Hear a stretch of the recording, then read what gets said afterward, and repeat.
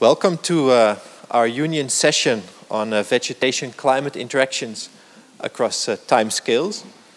I'm very pleased to see so many faces already at 8.30 in the morning, so that's very nice. Um, I would just like to shortly discuss a little bit the background why we thought it'd be nice to make such a union session. Um, so I visited the institute, the LSCE, uh, last year and started talking with people working on, on deep time processes uh, and the interaction of vegetation and climate in deep time. And I thought it was so interesting that I thought it'd be nice to have people discuss these topics also in the context of more modern processes. And this basically started the idea for the session. And over the last months, getting the session together was very much uh, interesting and a pleasure to see so many different topics uh, come together. And basically, this accumulated to the session we have today. And the outline of the session focuses on deep time processes before the coffee break, and after the coffee break, we'll move towards more present and short term uh, processes that connect vegetation and climate. Just to shortly outline what we'll talk about before the, the coffee break, Gilles Ramstein, who is also partly convening uh, uh, the session, will talk about uh, uh, the processes in general and also cover some of the processes that Yves Goddéris um, was supposed to talk about, but because of personal reasons, he could not be here. Then at 9 o'clock, we'll uh, continue with Sönke Zaehle, and he will talk about the terrestrial carbon cycle and carbon nitrogen interactions across time. Pierre Sepulchre, quarter past nine, we'll talk about the diversification of angiosperms. Uh, 9.30, Alain Frank uh, will talk about the evolution of palms and the global historical biogeography. At 9.45, Valier Galy will talk about the link between the evolution uh, of the terrestrial biosphere and the Indian monsoon. So for now, I would like to give the floor to Gilles Ramstein. Okay, thank you very much. Uh, so yes, I, I, have to say some words about yeah what has Hugo told you. First, I, am very glad I'm very glad that uh, so many also people are here and that can they can listen from the beginning to the end of this session, which will last uh, all the morning, but will span uh, several million, hundred of million of years. So the, the idea comes because uh, Hugo gave a very brilliant seminar at LSCE. I discussed with him in the corridor and then I, I told him, you know, there is a deadline for union session at EGU. It would be great if we do that. But the deadline was two days after that. So, so he works in the train, we were together, and we were able to, to build a first proposal, and it comes through. I have to say that this session, union session, is, is built by four dif different divisions. And I think the EGU, because there is so many people, I think it's a good, good place to make multidisciplinary science. So we will, we will try to do that and to make you travel from deep time to interaction between evapotranspiration and cloud, instantaneous physics in this uh, two or three hours. So I go now to the, the session, and, uh, and the session is, as uh, Hugo said, really intending from the beginning and mostly origins. They were lichen before, of course, in Silurian, but the real spread of terrestrial uh, uh, vegetation and interaction is really linked to Devonian. That means also that I will come back on that, that the terrestrial history is a short, short part of the, of the history of life on Earth. So, unfortunately, as Hugo said, if we go from deep to, to the top of the figures, uh, Yves will not be here. I couldn't do his talk because he's working on different topics than I. So I suggest to Yves to give me only three slides and I will talk about this three slides at the end of my introduction, and this will cover half an hour.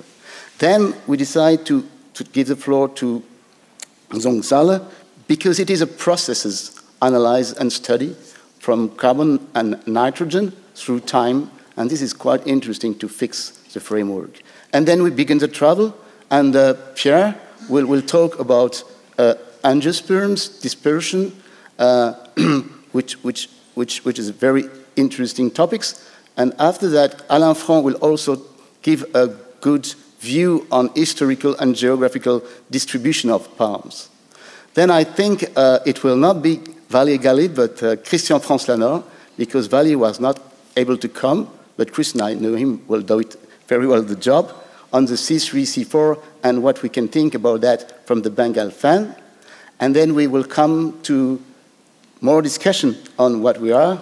We are, we are uh, so the emergence and the context of life at the beginning of the Tortonian to the Pliocene by Camille Contoux. And then we will go to quaternary science with Victor Brovkin and Jed Kaplan talking about quaternary, Holocene for, for, for, for Victor, and the last quaternary for, for, for Jed. And then there will be a little bit changes because the team cannot attend the conference. So during that 15 minutes, the people from the nine posters, they get about one minute, one minute and a half to present their posters. And then we will go to present day and future with a presentation of Jordi, which is really, as I told you, instantaneous physics from evapotranspiration to cloud, and finished by Gregory Duveiller, which will about, talk about the satellite use to better understand and control our environment. Our environment. So the, the next slide is just to remind you, of course, that there is a poster session, and this poster session will allow you to continue this travel uh, along the, the, the, Earth's history at Mid-Miocene, Holocene, but also in future climate change, even with uh, future Uh, uh, development of vegetation in China, for instance. So there is nine posters that will be presented anyway instead of the team talk. Okay, now we are here all together to talk about the interaction between terrestrial biosphere and climate. And as I told you, this is a very small part of the history of Earth and life. But it's quite interesting for us because we live on Earth and also because this story is quite well constrained from many point of view. So I will try to demonstrate that there are very important and key issues for this history and that we know a lot of processes and we can make good physics and biology with that. Um, just to say that for us, even if during Silurian there is some lichen, the story will begin during Devonian. This is the origin. Next, next four slides are a bit historical. It is, for me, the people that were quite important. So we can share that or not share that because, of course, for each one of us, there are very important people in science corresponding to interaction. To so it's not really exhaustive. It's just my view, and I will try to give some concepts that I will use later. So the first one is uh, Vladimir Vernadsky. In fact, Vladimir Vernadsky, born in St. Petersburg in 1863 and died, and died uh, in, in 1945, just at the end of the war. And so, due to that, he is not very well known, but he has a AGU medal called Vernadsky Medal. So, for the scientist, it is somebody that is quite well known, but he has not a large audience. And this is mostly because he died in a context just after the war, and his work was not so well known in Western Europe. But he is really one of the first father with Goldschmidt of the geochemistry. He works a lot on the interaction between um, cosmic and solar radiation and living organisms. I think he is one of the most important person on the concept of global biosphere and terrestrial biosphere, understanding that as a whole and in interaction to the other components. And moreover, he was one of the first to understand the impact of humankind on terrestrial biosphere.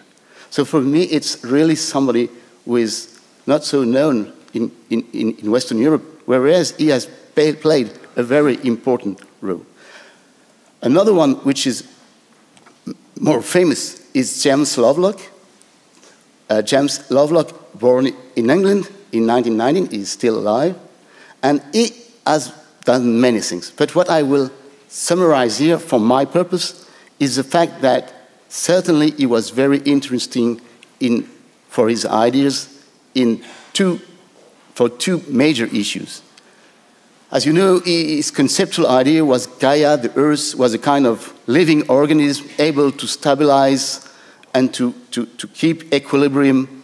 So this is the major idea. But beneath that, there is the idea, which is quite important, that living organisms participate to the climate and are not only forced by geological data. They are inside the problem. And the second idea is that we have to consider the Earth as a whole, which I think has very important impact on modern science. So just to say that he has come, some, some followers, and as you know, one of his followers was Hans-Joachim Schellnhuber, and this is what he said about uh, Lovelock, that it was the second Copernicus revolution. And I think this sentence is to say that we, we have the idea that the Earth was the center of the universe a long time ago, and we didn't realize on which planet we live. And this is certainly something very important in the idea of Lovelock to try to make us think of all the interactions possible of the earth as a whole. And this is certainly a big contribution. A last word to say that if you don't know anything about this question, you can read the paper from Lenton with there, which is, I think, a nice introduction to uh, what is interesting in Lovelock thought. So the second slide on Lovelock is just to say that he provided some years ago a conference at the AGU with many, many people. But you know, in the 60s, 70s, his ideas were really controversial. But no, I think uh, at least this part of his idea is, is considered quite positively. And I show here that, in fact, this idea of the Earth as a whole, during the 70, 80, 90, and due to the GX scenarios that are here, you can see that uh, all the components of the Earth system have been built, and that now we are able to have an idea, not complete, not exhaustive, but a good idea of the different components of the Earth system who are responsible for climate changes. And this, this is, I think, something that is belonging to the heritage of Lovelock, including, I, I think, the idea of Schellnhuber in the IPGP. So I think he was really well known and famous. And the last one for me is uh, Bob Berner. Bob Berner, he, he is, is born in 1935 and died two years ago. And he is really the guy that tried to understand, and I'm a modeler, and to model the evolution of the CO2, first with BLAG, with Lasaga and Garrels, with the models that try to do that to evaluate the CO2 changes through the Cenozoic and then through geocarb to include, by a kind of cumulative processes, all the interaction that could lead to modify the CO2 in the atmosphere. And I, I, I, only show here one plot, and this plot is the, the CO2 changes during 250 million years, and this is the kind of way that Berner was working, parameterizing, and so here it's the effect of fertilization, weathering, and erosion on the CO2 with different parameterization, zero for no interaction, one for all the Earth interacting, and he, he fit the parameter to 0.4 in, in, in his GeoCarb 3 model. So these ideas of trying to integrate all the, all the things were certainly a good thing. I, I know that now, especially from Donadieu, Goddéris, and this team, uh, the, the model has been increased to a 3D model with a real spatial distribution of erosion and weathering, whereas Berner anyway was more a 0D model in, in terms of understanding the spatial distribution very exhaustively. This is finished from the historical point of view. And now I want to go to two major spread. The first one is uh, the beginning, which is not really the beginning, but I would say that it is the time where the continent completely changed from mostly desert to vegetated area. And in your mind, you get the idea of the Cambrian the Cambrian evolution. But in fact, if you looked, the lapse of time during which the vegetation diversifies, it's not only a spread of vegetation, it's not a spread of shallow rooted plants, vascular plants, it's a spread and a diversification. And so we work on that uh, mainly uh, through a project I had several years ago, driven by Guillaume Le Hir, who has a poster here. And we begin to work on the Devonian and our first methodological approach was to work with people on the plants so that they can give us uh, the, the characteristics of this plant. And you see on this picture at the bottom the, some pictures that Brigitte Meyer-Berthaud gave me. So during this project, we work a lot with her to characterize different PF, PFT. In fact, there are three PFT. So what we did in our methodological approach, what Guillaume did, he used a climate model called GEOCLIM. He used a combined model, which is a carbon cycle model, and he built a junior slave model, which is a kind of PFT distributions. So these PFTs are three. There is vascular plant, shallow rooted, fern, tree ferns, and at the end, wood and forest. And these are the three major steps of the development and diversification during Devonian from 450 to 375. I will come back on that. So thanks to these three models, you can compute the diversification and the spread during Devonian, and this is here. So what we did, we take into account the tectonics and Devonian and paleogeographic Devonian evolution. We take into account the CO2. Here it's very, very accurate number, but in fact it's just a, a, multipl a multiply of a, a, a number. So we, it's 5,000 ppm in the first phase, early Devonian, and then it drops to under 5,000 ppm and at the, at the end of the Devonian, the CO2 decreased to 2,000 ppm. This is more or less derived from data. So we take into account the paleogeography, we take into account the, the, the CO2, we drive the model, and we find the distribution of the different PFT. So the first phase is uh, the, the, vascular, the small vascular plants, and you see there in the first step when you get high CO2, uh, the predominance biome, and then with the CO2 decreasing, you get more and more uh, tree ferns, and in the last step, you see that forest and wood invaded most of the places. So this is quite uh, consistent, and this is not only, as I said, a spread, but it's also a major diversification. What is the impact of that? If you think about it, not in the same time span, because this, as you see, takes tens of millions of years. But it is exactly the contrary that we are doing in terms of it is a massive CO2 relocation. The CO2 that were before in two reservoirs, atmosphere and ocean, get a new reservoir, which is terrestrial biosphere, and due to that, you get a large, large decrease of the CO2, which is recorded in the data and reconstructions. So now the paradox is the following. Today we are extracting from fossil fuel putting in the atmosphere a large quantity of CO2 very, very rapidly. At this time, we do the same, taking more time, but anyway, from a physical point of view, what you should see is a decrease of temperature. And if you look to the record, what you see is, in fact, no decrease, no major decrease of temperature at the same period of the Earth was greening. So this could be a paradox if you understand it in comparison with today. But in fact, it can be easily understood, and this is a work of Guillaume in his EPSL paper. You go from a yellow Earth to a green Earth, and due to that, you change drastically the albedo of the Earth, at, at least the continental Earth. And this counteracts the CO2 decrease because it warms the, the planet. And due to these two effects, we can explain this paradox. So this certainly is a very important period, the Devonian, to understand many things. The, the, the rapidity of the diversification, its impact on, on climate, and the way there is, as I will see, I will show later, some interaction between the leaf and the climate, the CO2 and the water vapor. There is a kind of equilibrium that makes the evolution evolved. And at the end of this period, around 380 million years, it's done, mostly. Okay, so it's quite rapid diversification. I want to speak also about another spread, which is also another diversification. And this will be more explicitly and better explained in the talk of Pierre.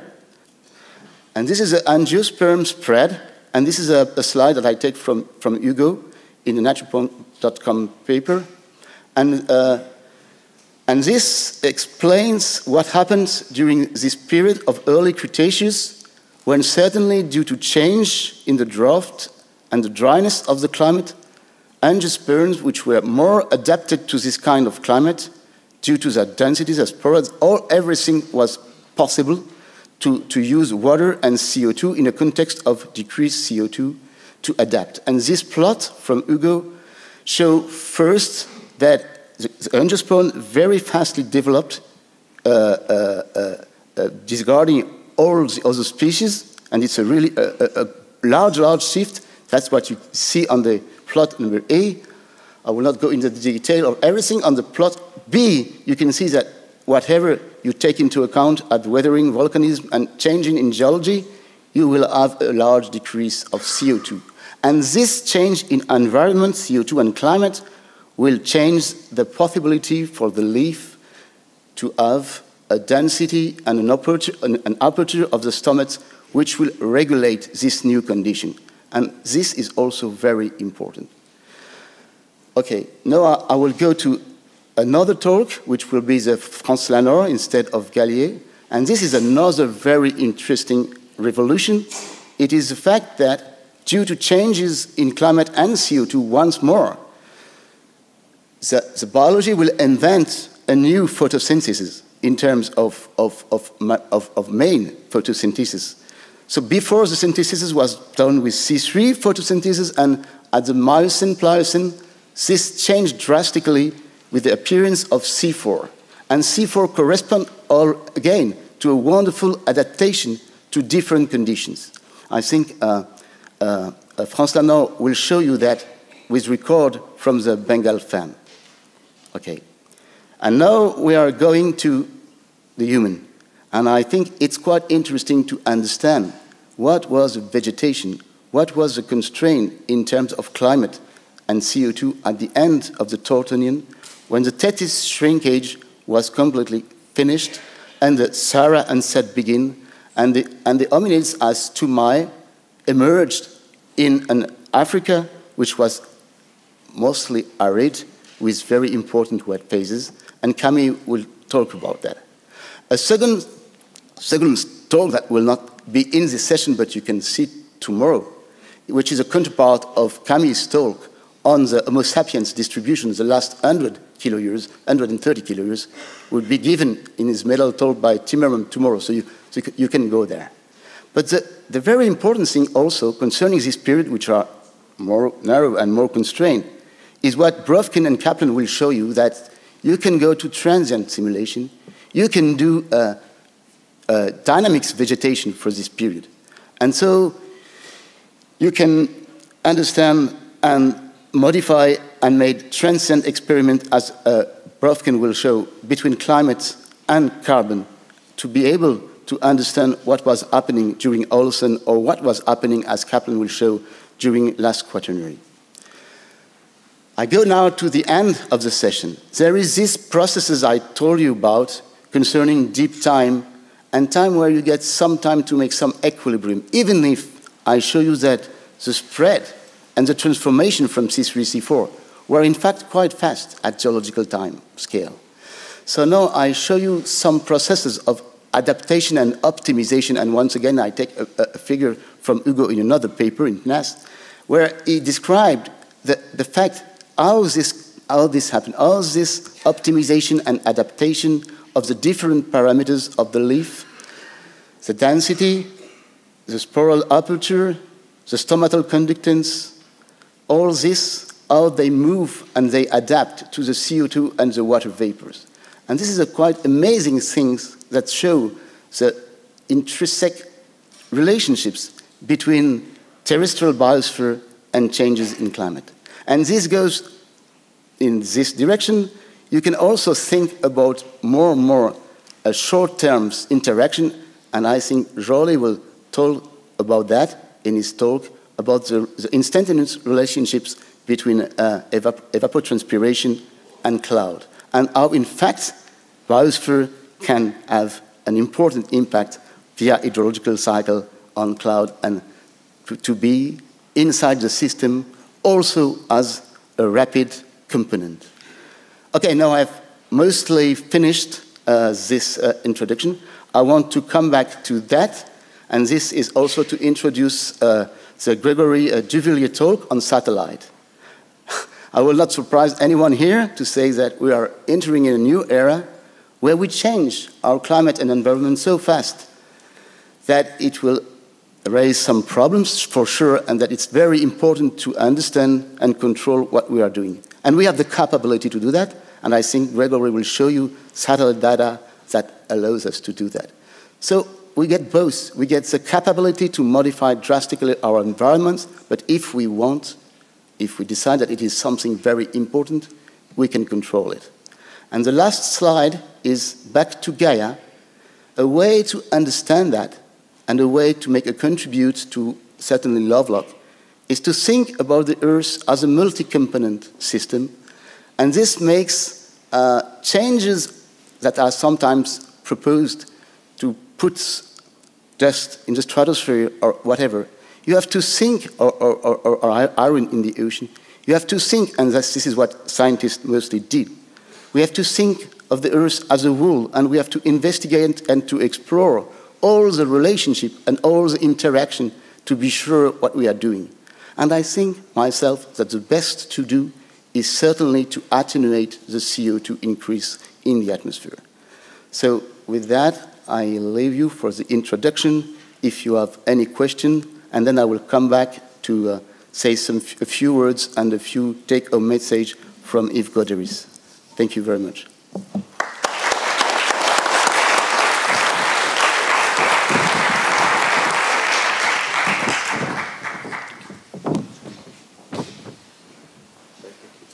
No, no, no. How much, how much I get? A few minutes. A few minutes for the two talks? Yeah. Okay, that's fine. So unfortunately, Yves Goddéris was not able to come. And uh, for me, uh, Yves Goddéris is uh, a very good carbon scientist. He, he, we worked with him for more, more than 20 years with Yannick and other people here in the room on the links between tectonics, climate, CO2, and I think Pierre will show some slide about that. So I thought that Yves was the best guy to, to show what was the Earth without vegetation and how this can change, and if this change was transient or not. Uh, and so I will try to give you three take-home messages that he sent me yesterday. So it's only three slides. I'm not an expert to answer a question. I can try. Mm, maybe there are people in the room, but I can show you what are the major ideas that if, if, if he could attend the session, would have said. So the first take-home message is the following.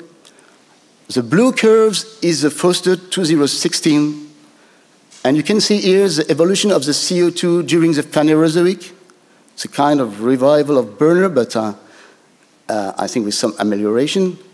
And, and, okay, and you can see here what is the important thing for, for Yves is to say you see the, the, the, the, spread I told you about during the Devonian, and you, you see the impact on the CO2. It's a clear decrease of CO2 without major changes in temperature, as I show you.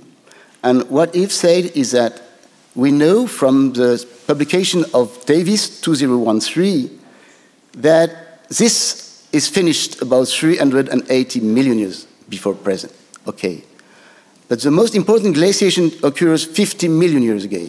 So it cannot be that that makes the glaciation happen.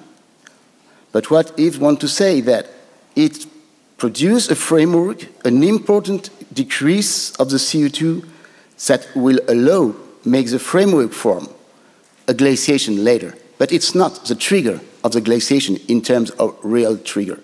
So this is the first message. The second is a he wants me to explain the methodology they used. So Yves has always worked with different people in the frontier of climate with uh, Yannick Donadieu, Guillaume Le Hir, myself, and many people to try to have a good climate model and to make interaction with other box. So here I present you the methodology he used for the result I will show you on the third slide. So the idea is to use a geochemical model for water for, for carbon cycle, and this is one box model with 11 levels with many things inside, and is interacting with the, with the, with global climate model through CO2 exchanges on one side and through runoff and temperature on the other side. So these two boxes speaks together, and from that you are able to know something about the climate and the CO2. We use this approach many, many times, especially for the snowball Earth, where vegetation was not so important. The third box is to infer the soil and the, the, the, the way the soil will develop, and this also uh, get as an input the runoff from this model, and from that, Yves is able to simulate what will happen when the vegetation will colonize the Earth. So his idea is to use um, an automat for producing vegetation within only three million of years to, try to guess what is it changing in the CO2. Is it a transient changes from one stable state to another, including now the vegetation? Is it something which is completely irreversible? Is it something that takes time and isn't it other feedback on large time scale that a little bit inhibits the decrease of the CO2? So he ran the model I just present you, and here are four maps. This is a transient experiment where the, the automate put vascular, vascular plants little, little by little everywhere, and this is what it produces in terms of carbon cycle. So you see four maps. The first is 0.15 million years, a snapshot at 0.15 million years, a snapshot at 0.5 million years, a snapshot at 0.85 million years, and a snapshot at 15 million years. And the brown is the increase, and the blue is the decrease. And what you see is that the fact that the vegetation spread in terms of vascular plants has a major effect at the beginning. For the last first million of years, you see a large increase of brown area. That means a large decrease of CO2. But after that, you get a reverse. And if you wait so long as 15 million years, you begin to see some reverse. Why? You see that because when you decrease the CO2, of course, it is cooler. And when it is cooler, you limit the erosion and the weathering. So this is a clear, direct impact of decreased CO2. The other thing is that you increase the soil the, the, and the regolith, and therefore you decrease erosion and weathering. And so these are prelim preliminary results, but the idea of Yves is to say that when the vegetation comes, she, of course, redistributes the reservoir of CO2 but much more in a transient way that takes time, and we have to take into account long processes to see the final state. And this includes the deepening of the regolith and the deepening of the depths of the soil and the changes produced by the CO2 decrease on temperature.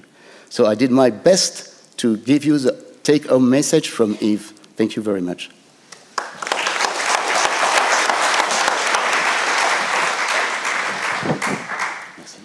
So thank you very much, Gilles, for the introduction. Uh, for the sake of time, I think we should move to the next speaker. Welcome, uh, Sönke Thank you very much. Um, thanks very much um, for the organizers to invite an extreme shallow time person like me to um, this, this conference. Um, are we talking about terrestrial carbon cycle nitrogen interactions? Um, I list my courses and the people that I've been discussing with over time um, on this project. Um, let me start by just introducing or, or reminding us that uh, the role of nitrogen has in the biosphere is that it's contained in enzymes, and everything that's going on in biochemical reactions is sort of then related to the amount of enzymes we have, which means that instantaneously, if you look at a tissue, um, the rate of a particular process, in this case, this is photosynthesis, does correlate with foliar nitrogen in this case. So at an instantaneous rate, we find a correlation between biochemical activity and nitrogen concentration.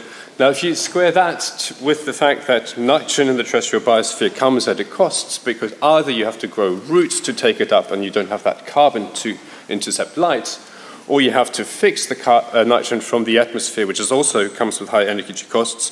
Uh, this all affects canopy, uh, community composition, leaf area, and there's ecosystem fluxes. And as a result, if you put this all together in a process-based ecosystem model and let um, a, a, system evolve either with knowing the nitrogen constraints or not knowing the nitrogen constraints, you typically come up with a map like this, which shows that in certain parts of the world, mostly the boreal zone, you find reduced productions if you account for the fact that you need to buy the nitrogen from the soil or from the atmosphere. Um, that's just a reminder, really. What I want to talk about is what this means in terms of transient behavior of the system. And what you see here is a sketch diagram of the carbon cycle, which is very much a linear thing. You've got atmospheric CO2 that's taken up by the vegetation, it cycles through the soil and is returned to CO2. And that's very much different from the nitrogen cycle, where there's a strong interaction between the soil and the vegetation pools. And much of the nitrogen uptake of vegetation actually comes from the soil pool. Now, there are two other things. There's this nitrogen uptake from the atmosphere through fixation, but that's a very small flux. And different also to the carbon cycle, the nitrogen cycle is leaky. There's certain pathways by which nitrogen escapes soil microorganisms and vegetation and gets lost either back to the atmosphere or is washed to the ocean, therefore lost by the, by the biosphere. So what we have is we've got a system where the carbon nitrogen cycle are coupled through biochemistry um, but that stoichiometry isn't necessarily completely fixed. There's a certain degree of leakiness because the nitrogen cycle loses a certain fraction of nitrogen. And we've got very low rates of input of nitrogen from the atmosphere. And this means that on different timescales, the nitrogen cycle will react differently from the carbon cycle. The question is, what does that mean for the Earth system, or at least the terrestrial biosphere? Um, I'll start off, again, I'm sorry, extreme shallow time. This is internal variability. What we're looking at is the net land atmosphere carbon exchange for the period 1988 to 2002. Uh, the grey bar is what you see from the observations if you use atmospheric observations and atmospheric transport. And the black line is a simulation that accounts for carbon-nitrogen interactions, whereas the dotted line is again a model, but that time I've given the nitrogen that the plant wants to have at any point in time. And what you see is there's hardly any difference. So at the time scale of internal variability, where we talk just about minor modifications of temperature or precipitation, um, the degree of stoichiometric flexibility in the tissues and the plants, and the fact that plants and also soil microbes have a certain ability to store nitrogen of, in good years and use it in bad years, means that on the larger scale, in, internally, we actually don't see a very strong effect, even though there's a biochemical control of nitrogen. Now, the question is, does that persist in longer term times? Uh, and I now show um, examples from simulations at a single point where we looked into increasing CO2, now not in a very smooth way, but in a step way. It jumped up CO2 by 200 ppm, and those are the solid lines, and what you see is the growth response of plants. And what you see is a, a log timescale here, because I want to focus on what happens in a longer timescale.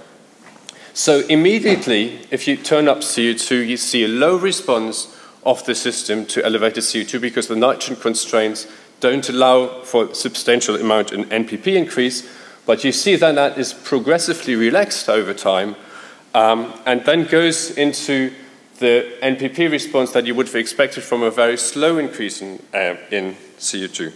Uh, what happens here is that we increase carbon intake, which then means that more of the nitrogen will be taken up and cycled through the vegetation and soil system.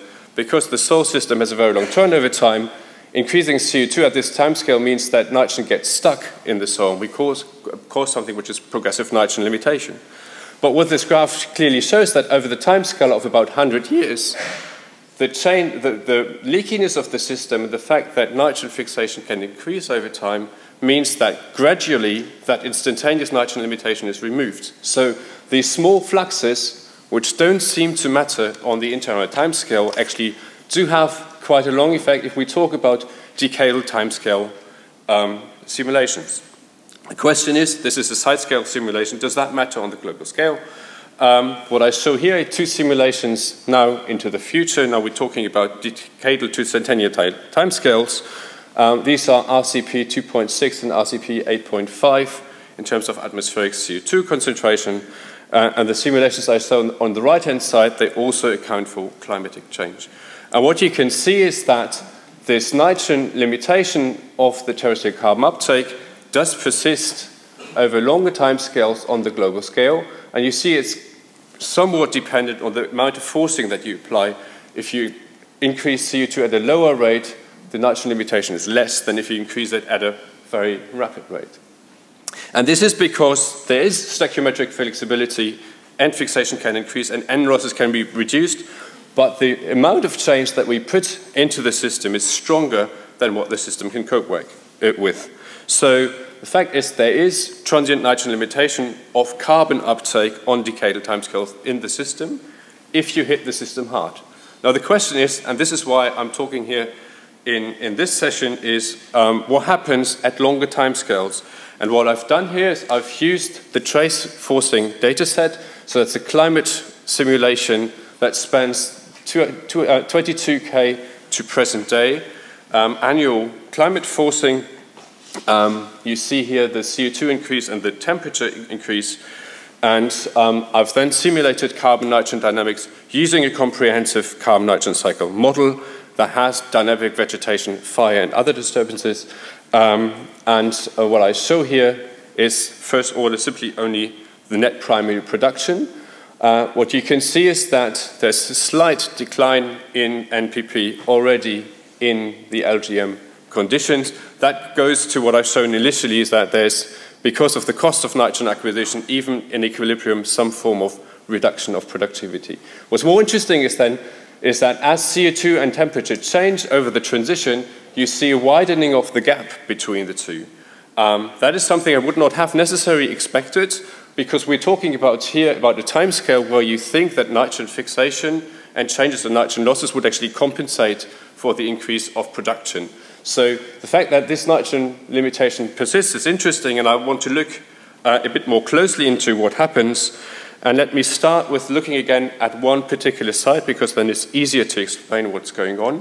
What you see here is the carbon in vegetation and soil, as well as the productivity of vegetation and nitrogen fixation, um, over the time when this particular space in central Sweden becomes ice-free and the climate conditions become favorable for um, vegetation growth. The blue line here is a simulation where there's no nitrogen constraints, where the red line is one where you explicitly take account of the fact that plants have to acquire nitrogen either by taking it up from the soil or by fixing it. Now, if we start from bare soil, obviously there's no nitrogen in the soil, and it does take some time to develop the sufficient amount of soil carbon and soil nitrogen. And that is a time scale that is a couple of thousands of years. So this is nothing that just snap goes on climate conditions become favorable um, as a carbon cycle model would predict. So within a couple of years, basically, carbon cycle model would allow the plants to invade that space, and then you would have a fairly substantial production ever on. But this implies nitrogen fixation rates that are basically implausible because they are much more than I think have been ever observed for about a thousand of years. Um, what you then see is that even when we, after a couple of uh, thousands of years, reach sort of steady state conditions, you see still that there's a difference between the carbon and the carbon nitrogen cycle version, which has to do with the fact that you need to buy this nitrogen from the soil and invest carbon either into roots or into um, fixation, and that means some of the production is foregone.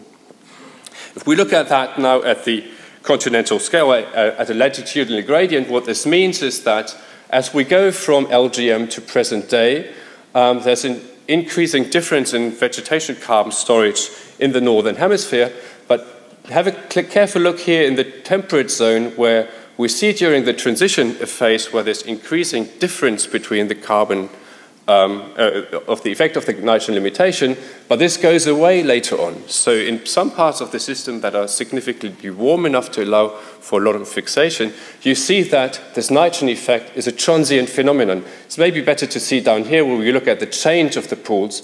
We've got a phase here where there's progressive nitrogen limitation of the carbon uptake, And there's a second phase where this is then released, so the system basically gradually keeps up with what a carbon cycle simulation would have predicted. Um, but if we go to the boreal zone, which is colder and where therefore nitrogen fixation is much more costly, um, this does not happen, at least not on the timescale of a couple of thousand years, which means even though the system in principle has the uh, ability to adjust, uh, it does not do that on the timescale of even a couple of millennia. Um, let's look a bit more into the nitrogen fluxes that are associated with this over time. Above here, this is the graphic that I've already shown. That's the net primary production as it progresses over time. Um, and what I show here now in green in the middle is the change of nitrogen uptake associated with this change in production. And you see a dramatic rise in nitrogen uptake for the nitrogen limited version, which are always the lighter lines, but you see a much stronger increase in nitrogen uptake in the version that does not know about nitrogen constraints. But it's still, because of mass balance, I can calculate that uptake. Um, and it is due to an increase in nitrogen fixation that's much larger than, in the, um, in, than, than, simulated by the version that conserves the nitrogen budget in total. Um, is there any way we could constrain this? Well, um, I told you before that the nitrogen cycle is leaky, so it's lo losing nitrogen either to the ocean or to the atmosphere, and part of the flux is nitrogen, uh, uh, nitrous oxide. Um, so uh, what you see here below is the predicted N2O flux to the atmosphere as it changes over time from the LGM to the present day. And you basically see there's a slight increase in um, N2O emissions from the terrestrial biosphere during the transition. Um, you see, obviously, also some temperature-related short-term anomalies. Um, what you can do is you can take these um, fluxes and back calculate what this means in terms of atmospheric N2O, assuming ocean fluxes haven't changed, assuming um, stratospheric decomposition hasn't changed. And what you then see is um, a difference in um, the implied change in atmospheric N2O between the LGM and present day that is about 20 ppb higher if you assume there would be no nitrogen cycle constraints. Uh, now, I don't know the ice core records well enough, but I think that is something that one can actually look at and try to see whether that offers some constraint of what the nitrogen cycle does, and then also how realistic those implications um, that I've shown are. To sum this up, um, CN interactions shape current biogeochemical fluxes because they instantaneously they depend on nitrogen, but the effect on the, on the internal variability is small, and that is why carbon cycle models get, a, get away usually by predicting present-day fluxes quite well. Uh, a, the main effect is a strong perturbation response either to CO2 or attenuation of climate change, and that legacy effect may persist for decades, but I've shown in situations where um, soil development is involved, this can even be much longer and even on the timescale of millennia. Thank you very much.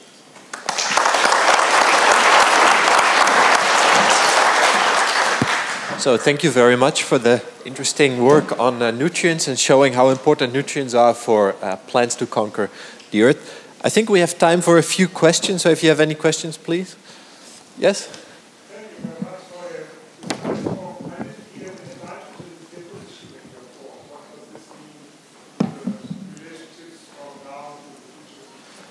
Uh, yeah, I didn't talk about nitrogen deposition for a purpose, obviously. Um, so, for one, we don't actually quite well understand nitrogen deposition from LGM to present day, so I kept it fixed, and there's an uncertainty here. For the future, um, the RCP scenarios do give us um, a increase in N deposition depending on the assumptions made about these scenarios. Um, but all of the RCP scenarios have been extremely conservative in that air pollution measures would be taking place. So basically, they all foresee a more or less stabilization of the nitrogen deposition fluxes, but it changes between ammonium and, um, and nitrate, so oxidized and reduced emissions. So that's the difference. And it will be different in the next set of simulations because there um, the scenarios will be more diverse in terms of nitrogen deposition. Yes? Uh, you mentioned that the plants surrounding Gotha progress in nitrogen limitation as, as, as, a result of nitrogen fixation. But I wonder that, uh, whether you know, the nitrogen fixation uh, could become constrained by phosphorus Yes, I mean, the, the problem I've shown is adding one degree of complexity. If you do that, there's another complexity, which is phosphorus. You might as well say molybdenum. Um, that is true, um, and I don't currently know what the effect will be. I mean, that's something that would be need to be the next step, basically, in looking to that. Certainly, phosphorus availability means that you can't increase nitrogen fixation forever. Um, yeah. So thank you very much. Uh, one quick question, maybe? Yes?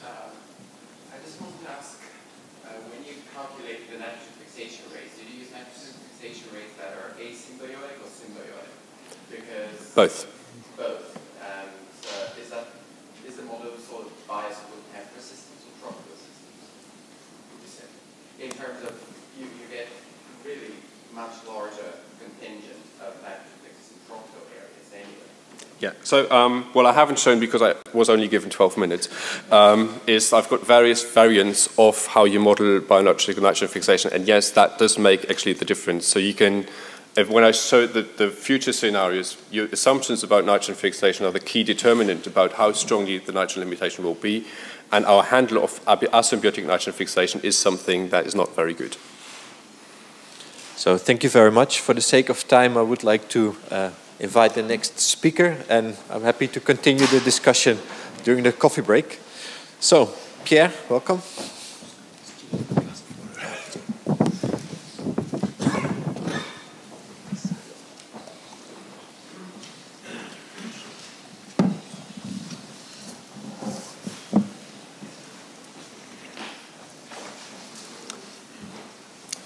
Morning. Um, well, first I would like to thank the conveners for inviting me uh, to give a talk here.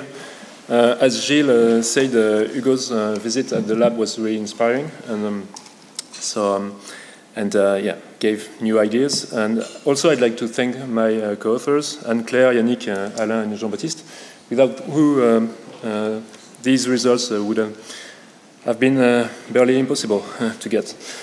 Um, I just need to learn how to switch the, to the next slide. Okay, so I'm going to talk about angiosperms uh, and, uh, and the Cretaceous and trying to convince you that it's a perfect laboratory to study uh, um, long-term um, interactions between vegetation and climate. Uh, if you look at present-day um, diversity of vascular plants, um, there are over a thousand species of uh, gymnosperms, over 10,000 uh, of species of um, ferns, and uh, angiosperms, there are more than, or, I mean, almost 300,000 species. So so, they are clearly the dominant clade of present-day vegetation. Um, the thing is that uh, if you look at the fossil record, um, there are two really important um, um, information. Is that the first one is that angiosperms diversified quite late uh, in the geological history, uh, more than 300 million years uh, after the arrival of vascular plants over the continents. And they diversify really quick within a tenth of millions of years within the Cretaceous. so that's, that is showed by the, the fossil record and the spe species diversity evolution through time. Um, the thing is also that uh, this uh, dispersal, at least in the fossil record, occurred uh, within a changing framework in, term of, in terms of uh, paleogeography. So one needs to quantify these changes in paleogeography and climate and to quantify the environmental uh, settings in which this diversification occurred. Um, just a quick reminder, these questions have been uh, uh, asked for a really long time. I would say like since the plate tectonics concepts have been accepted by the geoscience community. a good example of that is a, is a famous paper by uh, um, Axelrod in, in the, back in, in, the, in the 60s asking uh, uh, what is the impact of paleogeography on, on angiosperms diversification. Um, so how to quantify the, these first order links between uh, tectonics, climate, and vegetation so that the, the, um, the, the Mesozoic, uh, well, we, we did that with, um, with uh, the FOAM um, uh, coupled uh, GCM uh, a few years ago. Uh, so FOAM is using um, previous versions of the ocean and atmospheric component of the CCSM um, climate model. And we used FOAM enforced by five paleogeographic con configurations representing the Mesozoic fragmentation of the, of the Pangea. so 225, 180, uh, 120, uh, 95, and six, uh, 70 uh, million years old. The three last uh, represent the Cretaceous changes in paleogeography and are constrained by uh, the Sewall paper providing boundary conditions for the, for the Cretaceous. And as the atmospheric CO2 is not well constrained for, the, for, the, for the Mesozoic, we used three atmospheric CO2 scenarios ranging from two times to eight times Uh, pre-industrial values. To summarize uh, these uh, numerical simulations, we can just plot the continental rainfall versus the, the temperature at the global scale for the different for the different um, CO2 scenarios and, uh, and, the different paleogeographies. And what you see on this plot is that no matter uh, the, the CO2 concentration applied, um, there is always an increase in rainfall uh, through time linked to the changes in paleogeography. Uh, the, the, the, CO2 will just offset the, the changes in temperature uh, through time. Um, how do we explain that? Uh, well, uh, the thing is that um, what changes throughout the Mesozoic when you change the paleogeography is that you are, uh, you are fractionating the, the, continents, you are building smaller continents, and uh, uh, increasing moisture transport and um, convective precipitation. Um, the second point is that uh, for the, the early stages of, of, the, of the Mesozoic, you have larger continents that are also located under the descending branch of the Hadley cell, so making big arid belts um, over the continents. Um, these maps uh, shows the, uh, the, bi the, biome classification that we applied uh, with the LPJ outputs uh, from our simulations. And when you relocate the fossil record on these maps, especially uh, for the, the, the, Cretaceous, the Aptian, Cenomanian, and Maastrichtian, what you see is that the, the, the dispersal of the angiosperms that I was talking about seems to occur in rather temperate um, areas uh, in the mid-latitudes. Um, so this provides a kind of environmental context for this dispersal. And the second thing is that we uh, totally, by destroying totally these arid belts, we might um, um, provide some good um, conditions for dispersal. Uh, that's really putative, but that's uh, an environmental context that we can provide with, uh, with GCMs. Um, but what this um, kind of study totally lack and missing is the retroaction of vegetation on the climate. So um, just to summarize, the vegetation can act on, on, the, on, the, on, the, climate system through the albedo effect, especially in the high latitudes where the, the vegetation can, uh, can, act as a mask to the, the snow albedo and uh, also through latent heat fluxes, uh, especially in the low latitudes, uh, where many studies have, show, have showed that the, the vegetation can, uh, by increasing the evapotranspiration and latent heat fluxes, can cool the climate. Um, such um, such parameters and mechanisms have been assessed in the past. For example, there was this pioneer paper by uh, Bette Otto-Bliesner and, uh, and Upchurch uh, back in the, in the late 90s, where they used uh, an atmospheric model uh, together with a really simple ocean model, um, in which they either release the vegetation or use bare, bare, bare, soil vegetation. And what they, they show is that the increase of uh, forest in the high latitudes tend to warm the climate. And this warming can, can reach up uh, 2.5 uh, degrees. Uh, um, but as I said, uh, the, the ocean state was not really taken into to account in, the, in these kind of studies. And the ocean uh, can also have some feedbacks with the atmosphere through the fresh, freshwater discharge change, sea ice feedbacks, or wind stress changes. And recent, more recent studies have, have shown that. Uh, I just cite a few of them. Uh, there's a paper in GRL by uh, Victor Brovkin and collaborators in 2009 uh, showing uh, that the, if you replace the pre-industrial uh, veg vegetation by either a forest or a desert, you will cool or warm the climate, but also changes the precipitation patterns over the continent and the ocean. That involves uh, some changes uh, in the, in the uh, ocean circulation. Um, the, um, more recently, a paper by Zhu and collaborators with Chris Poulsen used the, um, the CSM model, a CCSM3 sorry, model um, with a Cretaceous um, configuration and showed that uh, if you change the vegetation uh, boundary conditions, you will also uh, change the, the global overturning of the, the ocean circulation. Um, a last example is the, the work by Alkama et al. in Climate Dynamics 2012 for the LGM. They changed the vegetation, turned it to a desert, and, and saw a mass, massive cooling of the, of the climate system. What we are doing uh, at our lab now is using the, uh, the, the, IPSL CM5A2 uh, model, which is a kind of new version of the, the, the, the IPSL model used in the CMIP5 experiments. And uh, so it includes the continuous uh, surface processes with the model ORCHIDEE with 13 PFTs. Um, and we uh, tried to assess the impact of vegetation during the Cretaceous on the climate system. So we took paleogeography from Sewall at around representing the Aptian Albian transition. I took a scenario at, uh, at 4x um, pre-industrial values, reduced the insolation, and built three vegetation scenarios. One is a desert uh, Earth, I would say, where, where all the PFTs are set to bare soils and the soil albedo is uh, around 0.23. Uh, and two other scenarios are zonal vegetation, where basically the vegetation is evolving through the, latitudinal gradient from tropical uh, at the equator to temperate and boreal at the, at the high latitudes. And the third scenario in which we, the vegetation was derived uh, from the Sewall data. Uh, the Sewall uh, uh, paper um, provide some biomes for this period.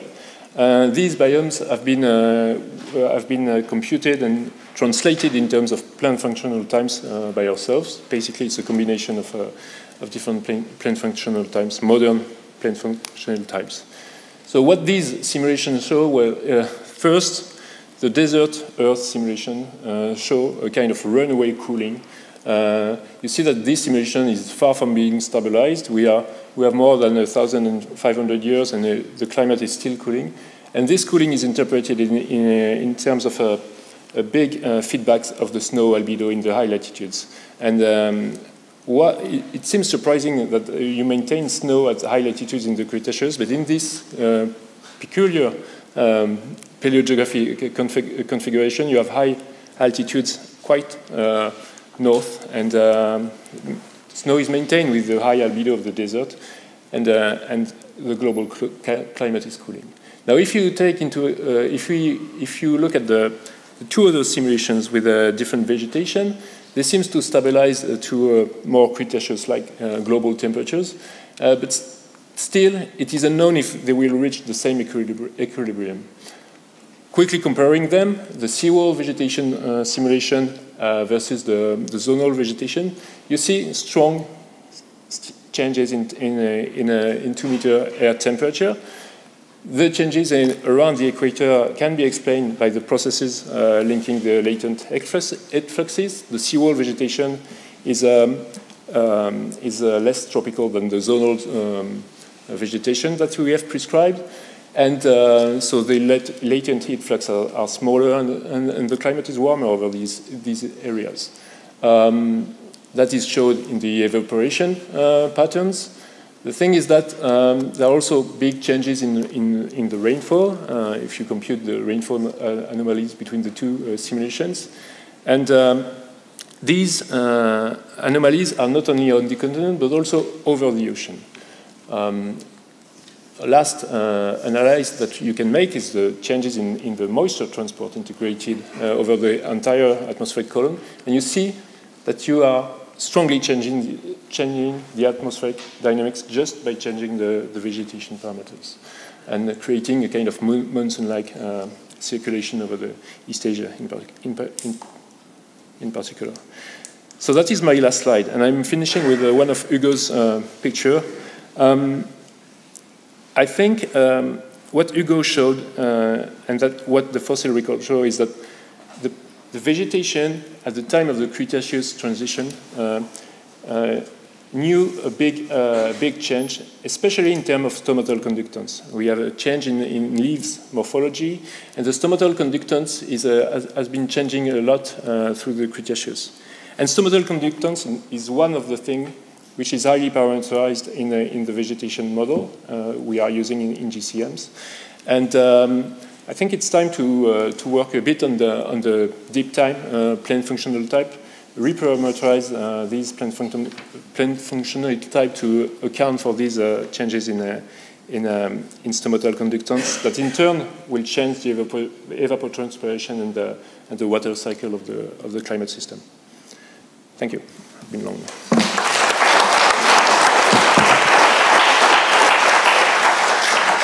So thank you very much for this uh, very interesting work showing the model results of the deep time. I think we have time for a quick question. Yes.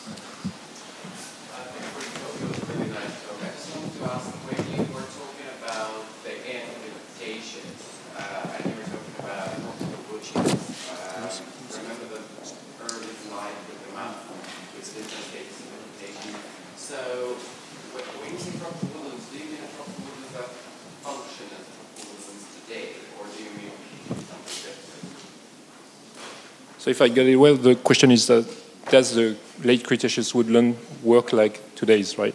Yeah, because mm. basically, according to the fossil record, most of the forest back then, you know, the ACA pound products and things like that, which is pound-dominated forest as opposed to big tree-dominated forest. Uh, that, that's a yeah, that's a really important question. I think uh, most studies show that um, during at least uh, a third or half of the Cretaceous, the, the angiosperms were mostly bushes or, or small, or at least small trees. So it's, it's, it's very likely that, that like the tropical ecosystems were quite different from today's.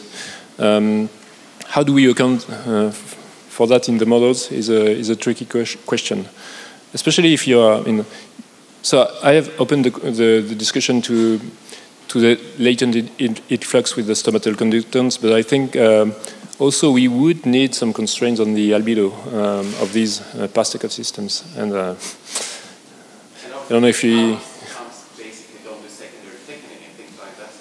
Hmm. Yeah. yeah. Yeah, I agree. Okay, thank you very much. Um, I would like to invite the next speaker, Alain Franc, University of Bordeaux. Thank you. So, well, do I change this?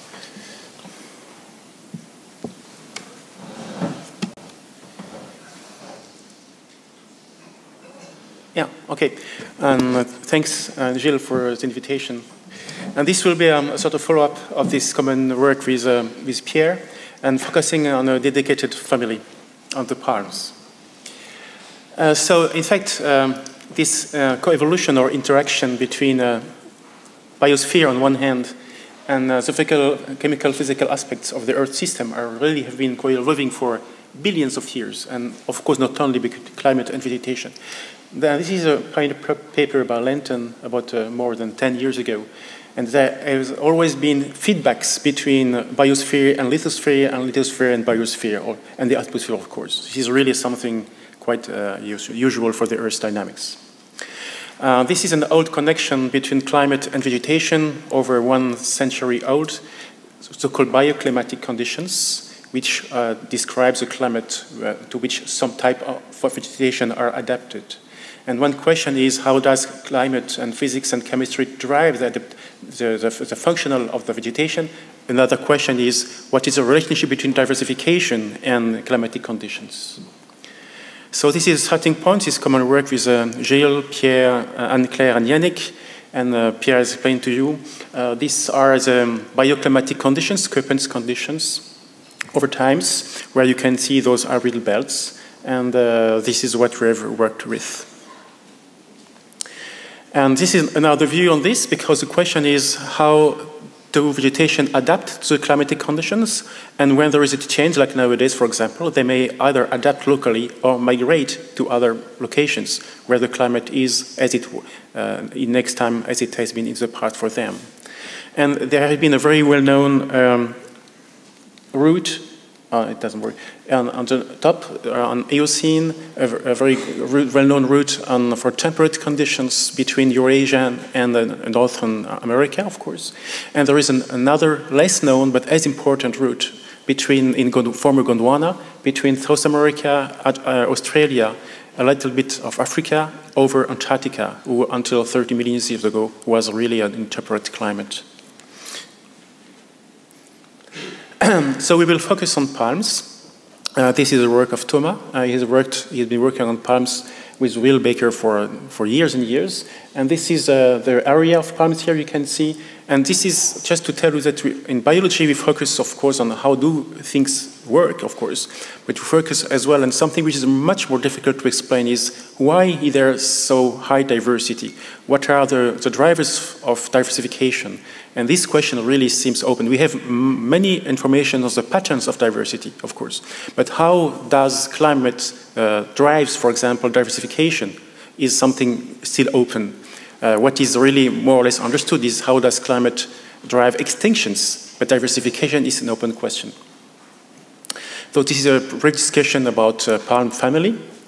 And this is how uh, biologists describe diversity. It's just historical. It is how the, the evolution of the diversity patterns, we can, by phylogenies, infer the history of the diversification or speciation, just looking at current diversity. And we have a couple of models of molecular evolution. And when running those models, we can build those phylogeny. And this is a phylogeny of the palm families. I won't explain the names, even myself, I do know them by heart. It's the work of uh, Bill Baker and Thomas Couvreur.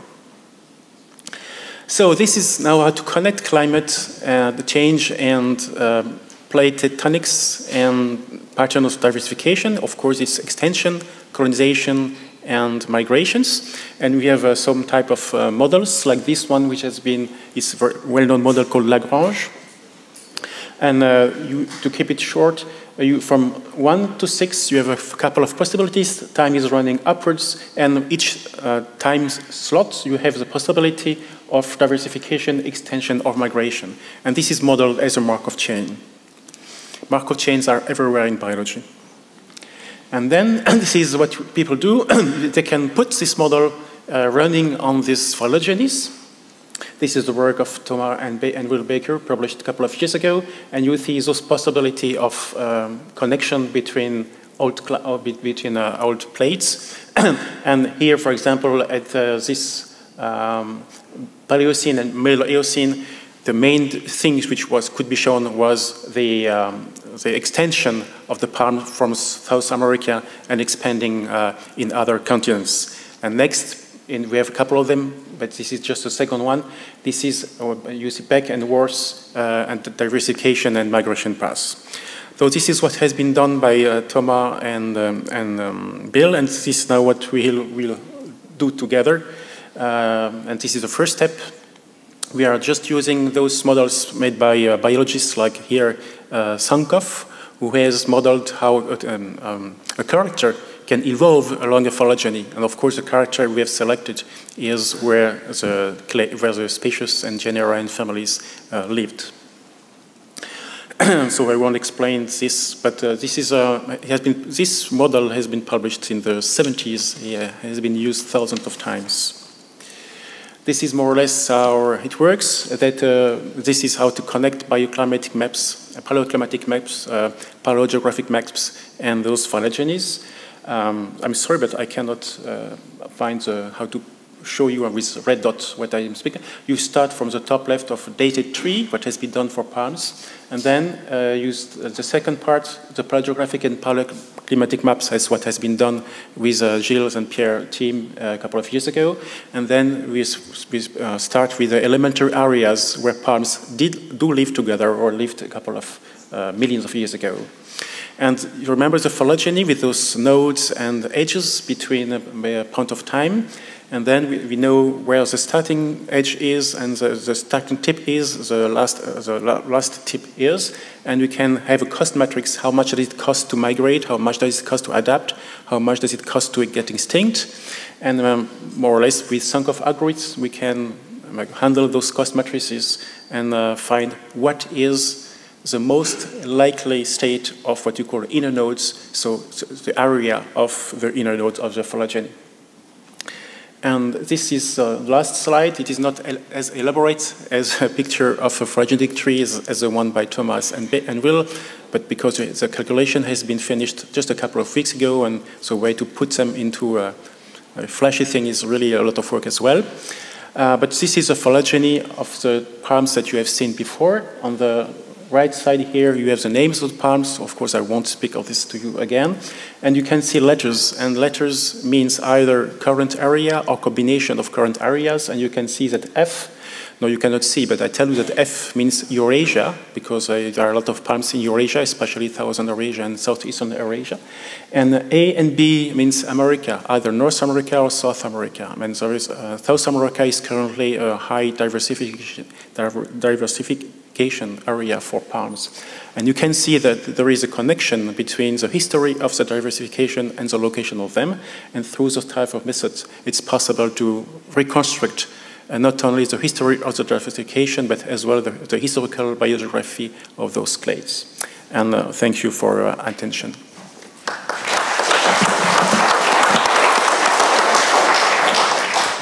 Thank you very much. Um, we have time for a few questions. If you have any questions, please.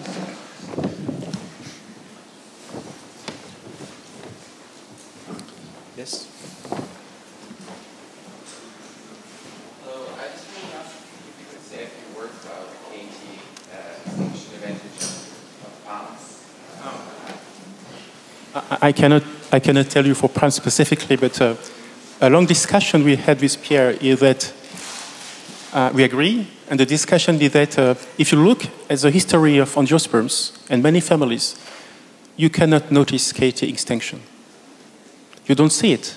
There is not a rise of extinctions in the phylogenies, and there is neither a rise of diversification just after. So most of the families of angiosperm has been established by late Cretaceous, and they have survived uh, KT extinction. And most of recent diversification is really at uh, Eocene and Miocene and so on, and just, just we're at, at a genus level. So we, we simply do not see it. Which is really a question. Thank you. Other questions, maybe? Yes. Yes. Uh, previous slide, please. Oh. Uh, um, how, do, uh, how do I do? Okay. Okay. This one? Uh, no, uh, the tree, please. Okay.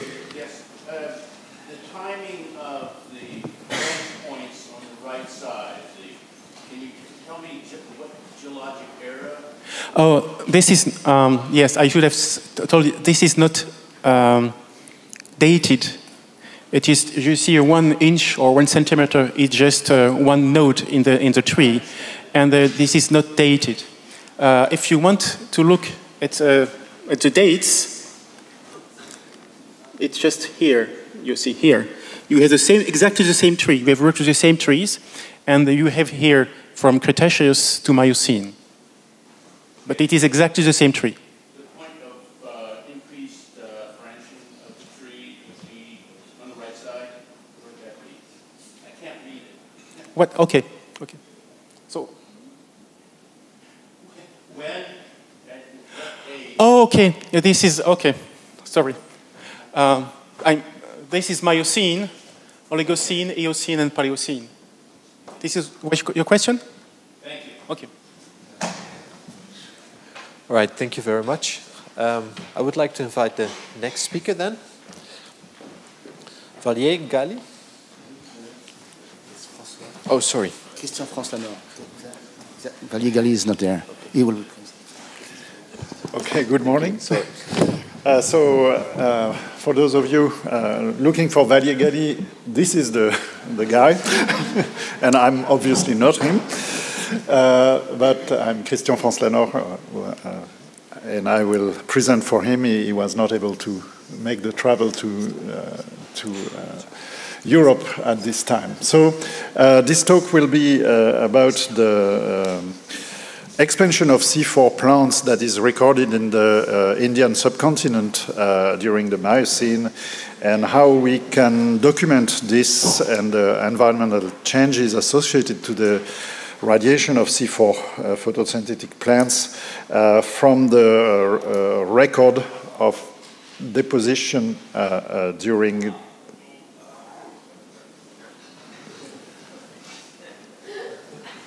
I don't know. uh, from the record of, uh, of, of uh, um, Himalayan erosion in the Bengal Fan that has been obtained from recent IODP expedition. So uh, the C4 plant uh, uh, expansion has been very well illustrated by the discovery of uh, Jay Quade and, and Thure Cerling in the 80, in the late 80s uh, uh, in the uh, Siwaliks of the Pakistans, which has a, a, sedimentary record of deposition in the floodplain of the western Himalaya. And this uh, uh, record was showing a fantastic shift in the delta C13 of pedogenic carbonates here, showing almost a 10 per mil shift of those uh, pedogenic carbonates that was reflecting the radiation of, uh, or the, the, the, the, shift of uh, uh C3 uh, dominated uh, uh, or forest types of, uh, of uh, environment and switching to C3, C4 savanna type of environment in the in this floodplain at that period.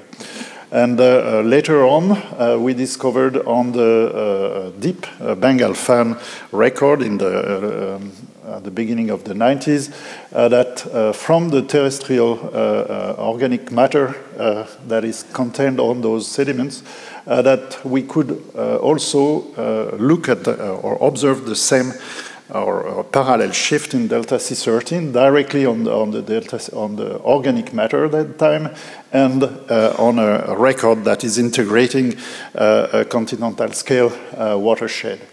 So the, the, the, this uh, uh, exp expansion was really uh, largely developed there.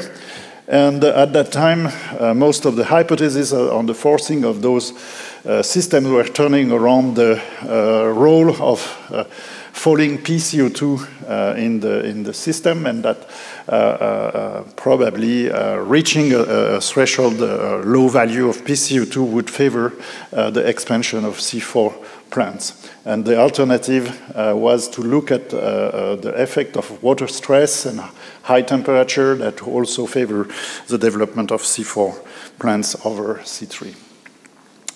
The role of uh, PCO2 became uh, weaker uh, with the discoveries of uh, uh, Pagani and, and, and co-workers on the atmospheric PCO2 sh showing that uh, very likely the, the, atmospheric CO2 pressure was low since the uh, late Oligocene, probably, and therefore that uh, the, the, CO2 was not a real trigger uh, for the, the C4 plant expansion at that in, in the late Miocene. So uh, we were uh, living with the, the role of the monsoon, and to be frank, the, the, the understanding on, on, the evolution of the monsoon throughout this uh, period is not very clear. There are some records which shows that there is an intensification of the monsoon 8 million years ago, like here on those uh, foraminiferous records uh, that are representing uh, uh, intensification of upwelling in the Arabian Sea, but otherwise looking at other records like here, dust, in aeolian dust, uh, you have uh, only a change uh, much later in, in, the, during the Pliocene. And so there was no real good record of, of, what is going on and uh, for the monsoon. And uh, also, it was not directly, uh, all those records do not directly focus on the zone where we observe the, the, the, C4 plant expansion, which is more or less the uh, Indo-Gangetic uh, basin and the sub-Himalayan sub basin. So this is uh, now obtained with recent drillings uh, uh, from IODP in the, uh, in the Bay of Bengal. And looking at a, a transect, we have been drilling throughout the middle Bengal fan at the latitude of Sri Lanka And here you have uh, about three to four kilometers of sediments deposited by the uh, fluxes of, uh, of the Ganga and Brahmaputra, representing a, a, a record, or continu- more or less continuous uh, record of uh, uh, terrestrial or detrital sediments accumulated here in, this, in these basins. And uh, Expedition 354 uh, uh, drilled a series of holes across this fan. And we will concentrate today on the three deep hole uh, that represents uh, about uh, three holes of 800 to 1,000 meter deep that allows to have a, a record of about 28, 25 million year of sedimentations, mostly turbiditic, as he, uh, shown here as an, an, as an example, as a succession of uh, uh, turbiditic pulses uh, of, of, various uh, grain size from silt to sand. So uh, this is uh, what we obtained on the bulk organic carbon of this record for the last 20 million year, 25 million year. Here uh, uh, for the three different uh, holes across the Bengal fan. So we uh, more or less observe exactly the same uh, uh, response through time, so minus 25 more or less uh, a record up to about 6 million years, 6.5 million years, then the radiation or a shift towards high, much higher values up to 21, 20 uh, per mil. Uh, of course, is, these are marine sediments, and the, the, organic matter there can be a mix of uh, terrestrial and uh, marine organic carbon, and minus 20 is uh, absolutely typical for marine organic carbon.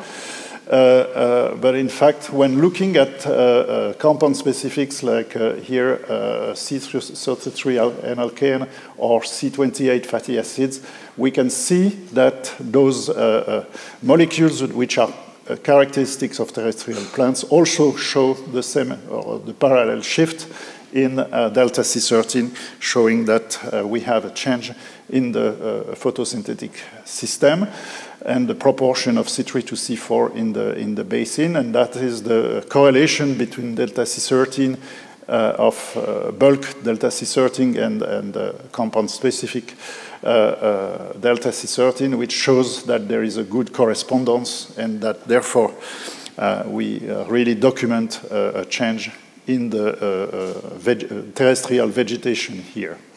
So in order to better characterize the, the environmental changes, uh, Valier Galy and, and Sarah Feakins uh, have been analyzing uh, the uh, delta D, so the isotopic composition of hydrogen of C28 fatty acid here, uh, which is presented here. These are the black dots on this diagram. Green dots represent the delta C13 uh, uh, of, uh, of C, C33, showing once again the expansion of C4 plants at 6 million year.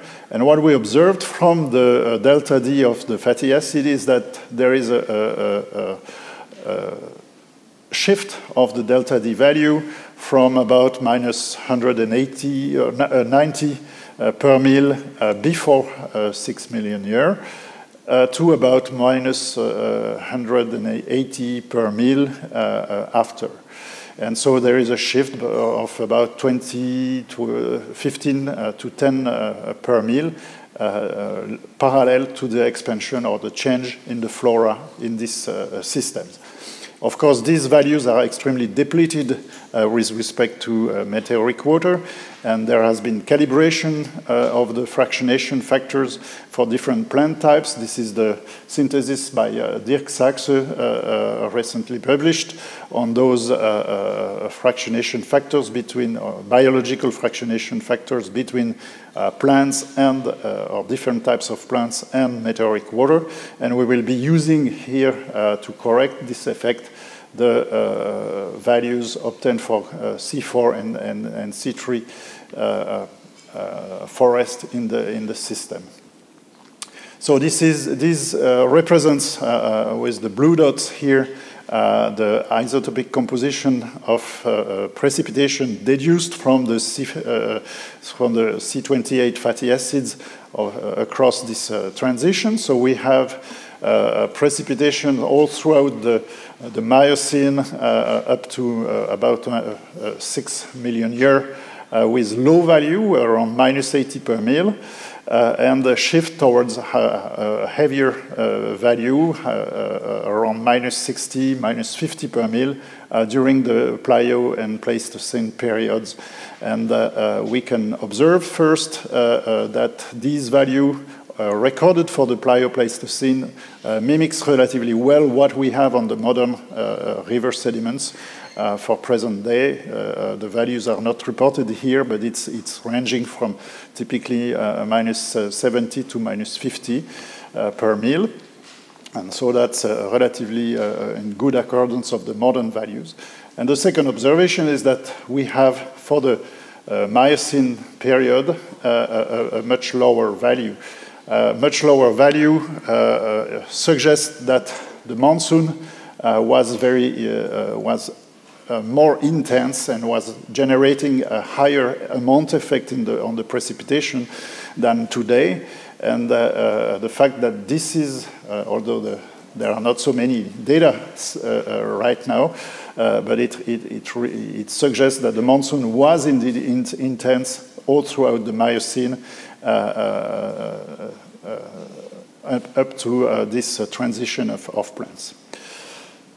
So uh, this is uh, showing uh, the same data set uh, and showing the, the, the, the, parallel between uh, uh, the change in vegetation here by the delta C13 of C28 fatty acids and the uh, change in delta D of precipitation, and, and same showing low delta D precipitation before C4 plant expansion and higher uh, uh, delta D of the precipitation after the C C4 plant exp uh, expansion. So uh, uh, the take-home message messages from this study, which is not complete now, but uh, uh, needs to, to, to be uh, looked at with some more details. But already we have very clear implications. There is a, a straightforward observation that C4 plant radiations occur across in, in, a, unidirectional way uh, about uh, 6.5 million years ago and is well recorded in the tree uh, uh, Uh, uh, holes of the, of the Bengal fan. Uh, this is uh, accompanied by a, a, shift in the delta D of precipitation, about 10 to 20 per mil, that could indicate a weakening of the Indian monsoon during that period. And indeed, this weakening of the monsoon could correspond to increased water stress uh, for those uh, uh, environment and could explain the C4 plant expansion or could be a, a, trigger for the C4 plant expansions.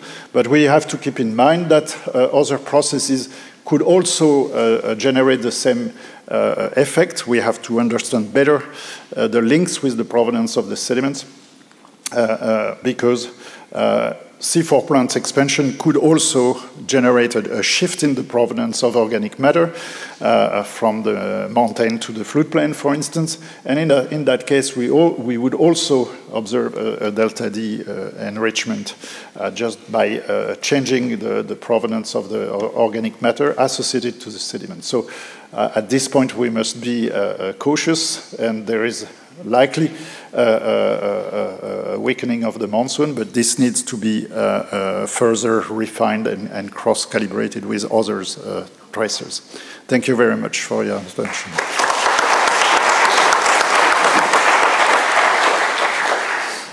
Thank you, Christian.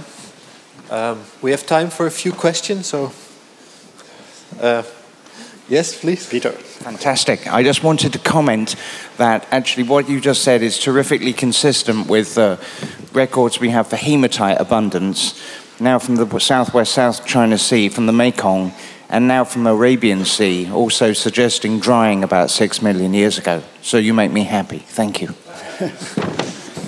well, that's good to hear. I saw someone wanting to ask a question here in front.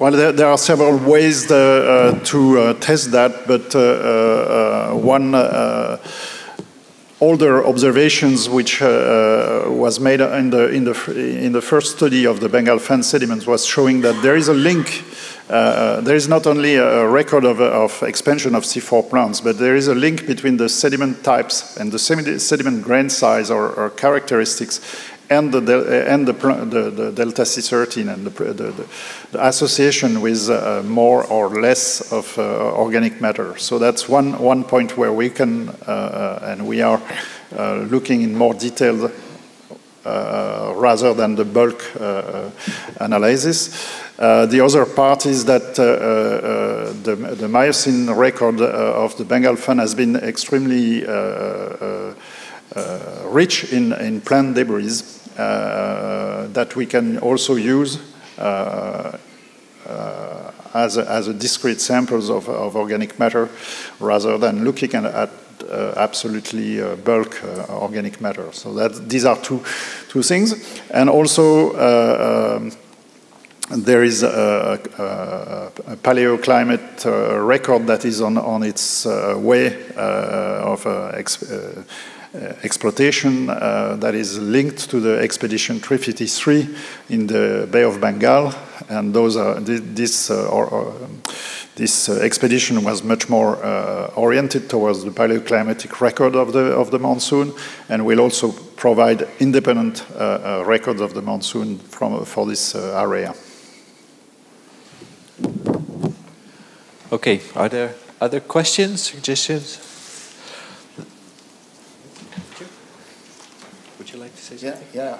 I, I, first, I want to thank Christian that replaced Xavier uh, Valier very rapidly. And then I have a very naive question. Uh, if you go to the Bengal Fan, which is a kind of litter, it's, it's, you will bring many, many things inside this place. So as you say, the, there is many noise and it's difficult. But uh, if you just do that for the, the, the transition at mid-Holocene, when the, the monsoon were changing, are you able to, to from your record in the Bengal Fan, to, to diagnose the changes in monsoon during the last uh, uh, mid-Holocene period, for instance? Yeah, uh, well, we, we didn't talk before the, the talk, so, but, so this, this was not a, a, a, a comment uh, question, but uh, yeah, that's, that's an earlier uh, study by Valier and, and, and myself on the uh, on the last uh, glacial cycle uh, to present record in the, in the Bay of Bengal. It's a, a much more to the north of the Bay of Bengal, but it's and it's on a short core. But it's it's showing that from the last glacial maximum, we had higher uh, uh, C4 plant uh, uh, representation in the in the sediments, uh, uh, and that is returning to a, a more C3 dominated system in the in the modern period, uh, and uh, this is not represented on this uh, on this slide, but the delta D of the lipids is also mimicking very well this change. So there is a you could you could in a way make the parallel between the short term and, and, the, and the long term uh, evolution. Okay, thank you for this uh, nice interaction. Uh, for now, I would like to conclude the morning session and thank all the speakers uh, and their, their co-authors for the contributions of, of this morning. For me, it was very nice to see such a big overview of different processes and timescales. Also, I would like to invite you back for the session after the coffee break, which starts at 10.30. There we will cover vegetation climate interactions at more recent timescales and shorter uh, timescales. So thank you very much and I hope to see you after the coffee break. Testing.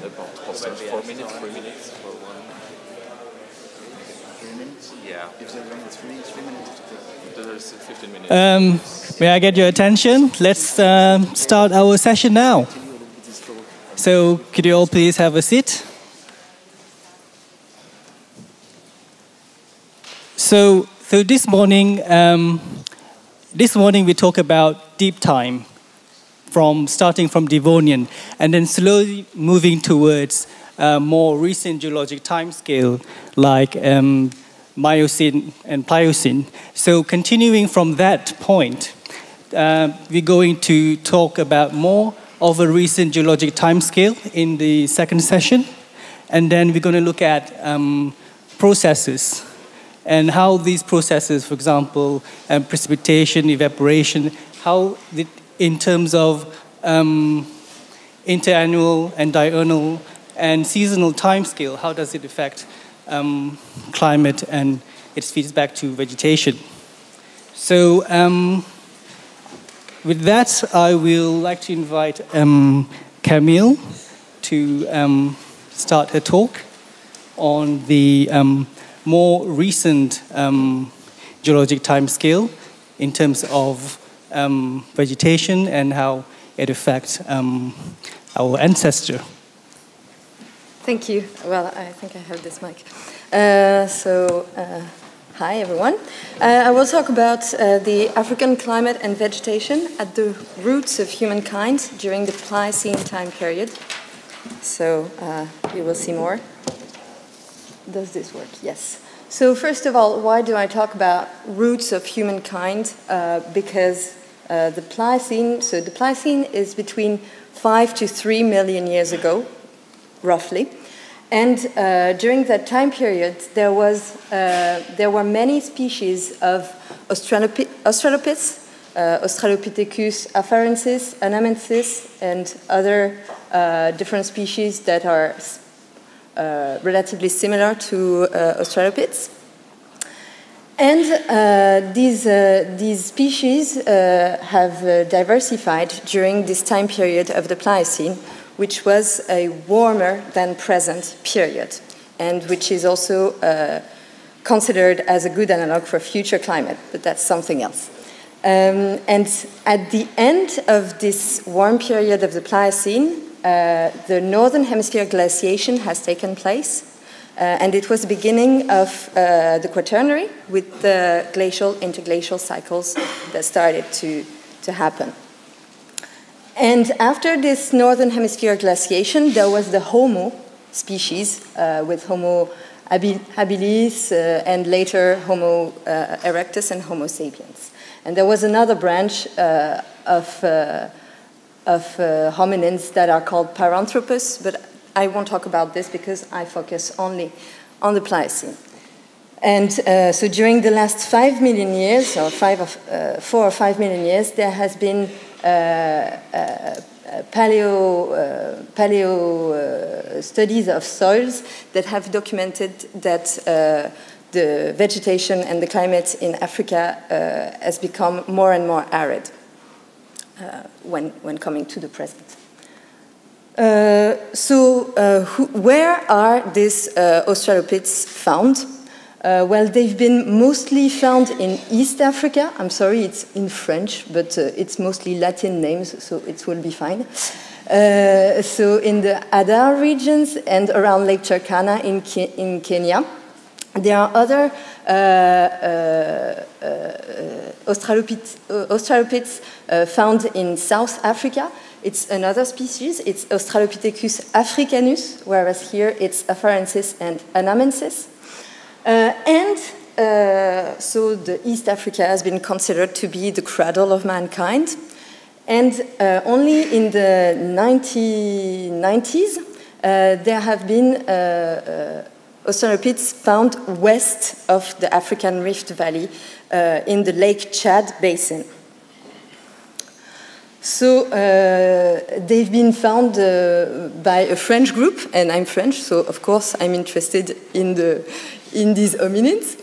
Um, and uh, what is interesting is that uh, we have the oldest hominid uh, who has been found. He is seven million years ago, so during the late Miocene, it's even before the Pliocene and also uh, uh, a species which has been attributed to Australopithecus afarensis, so the same species as in the Rift Valley, uh, uh, which is found here in the Lake Chad Basin, so in, in center uh, of um, in the center of Africa.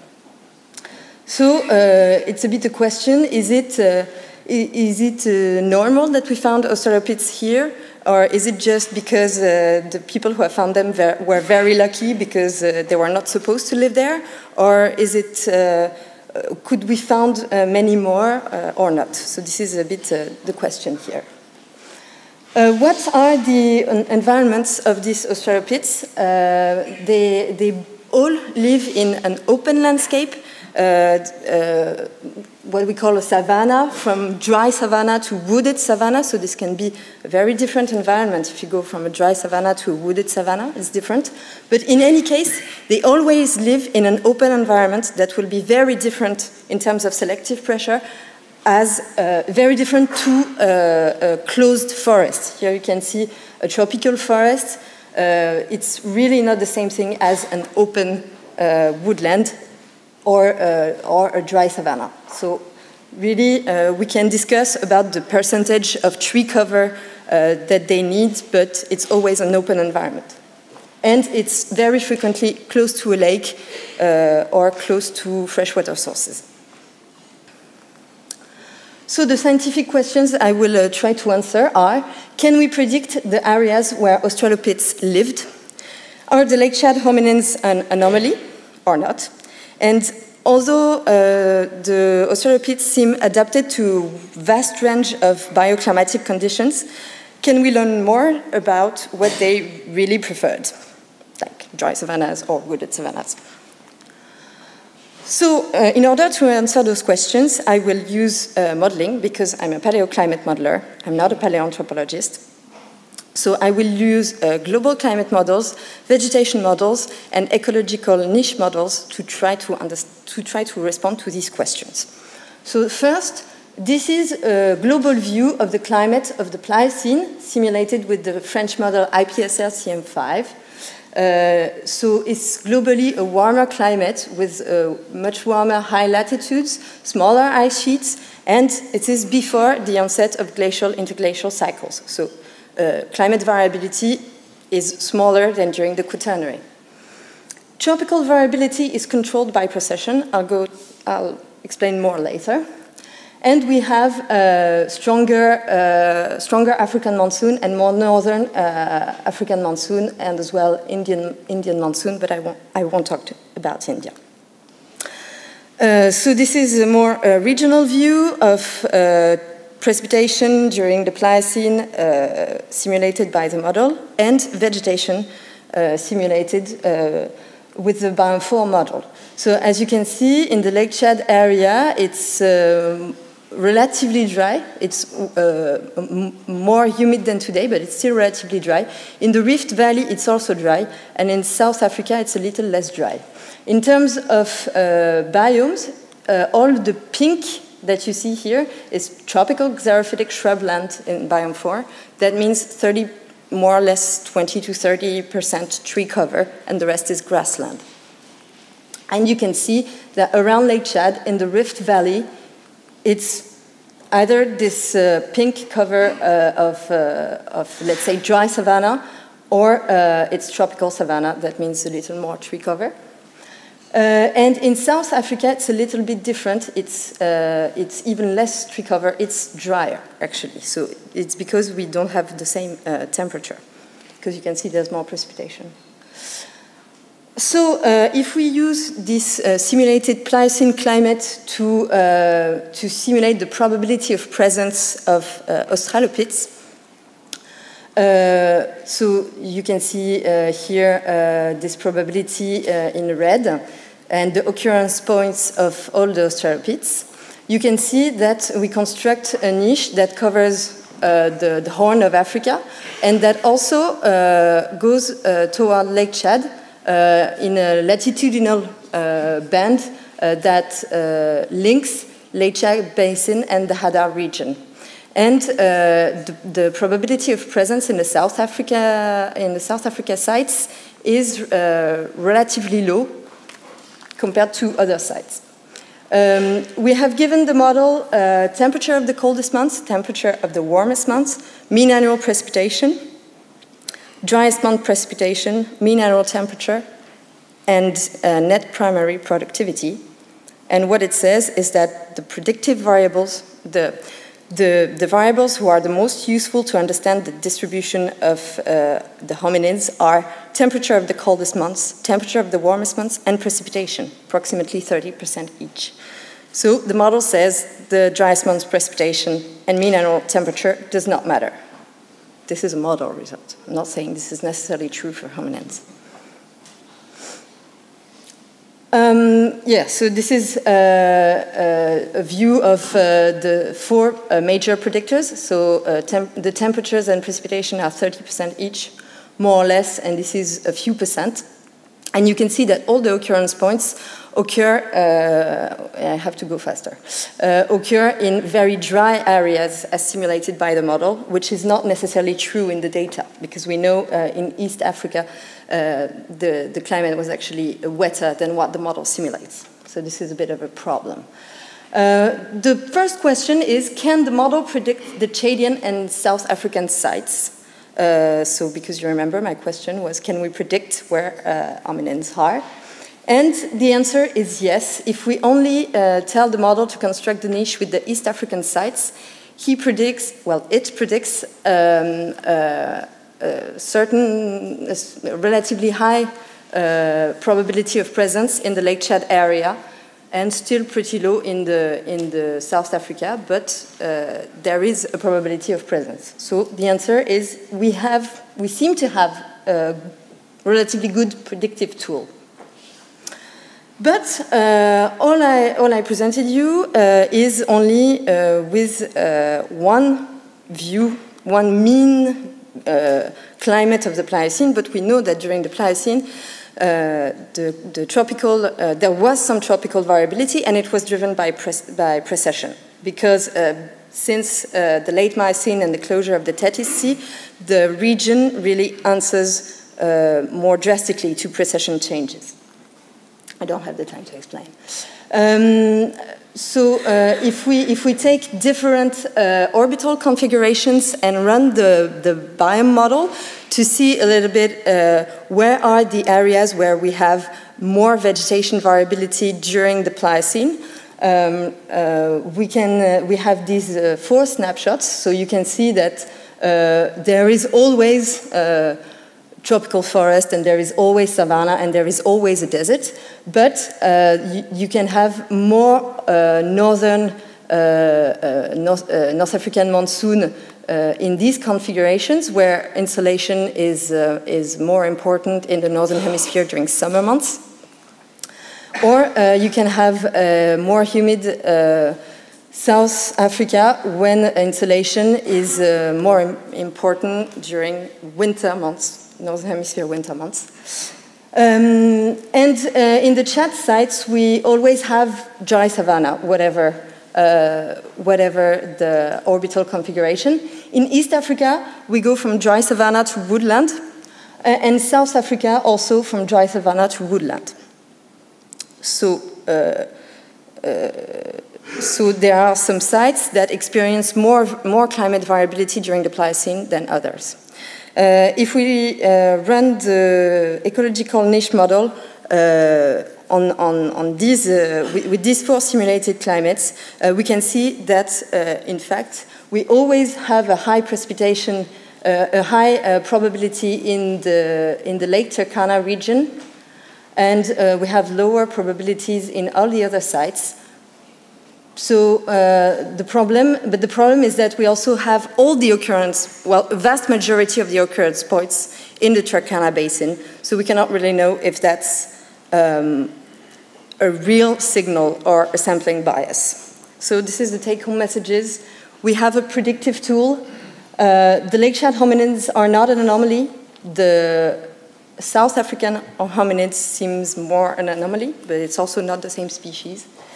And uh, we have uh, to understand if our, our uh, results are a real signal or if they are based on the fact that we have much more sampling in East Africa than in other areas. Thank you. Sorry for being so long.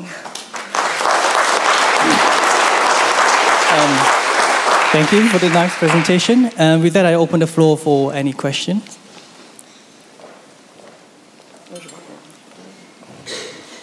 Yes. Um, it's sort of a comment there's new evidence from southern Africa that suggests that monsoon expansion of expansions is phased in the northern hemisphere, which is not something we see in any of the model simulations. If that actually operates through time, then it could be that your anomalous pattern in South Africa is not so anomalous all after all. It's just simply you've got wrong simulated climate. So I just think it's fun to look at that. I agree with you. Any more question? Yes. One. Can you say a little bit about the boundary conditions used for the Pliocene and exactly which part of the Pliocene?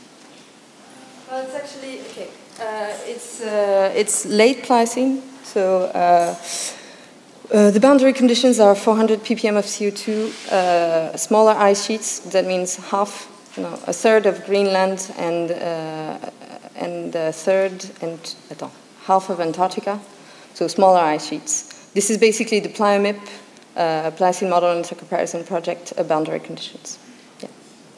Okay, with that, um, I would like to invite uh, our second speaker, um, Victor Brovkin from the Max Planck Institute. Um, the floor is yours.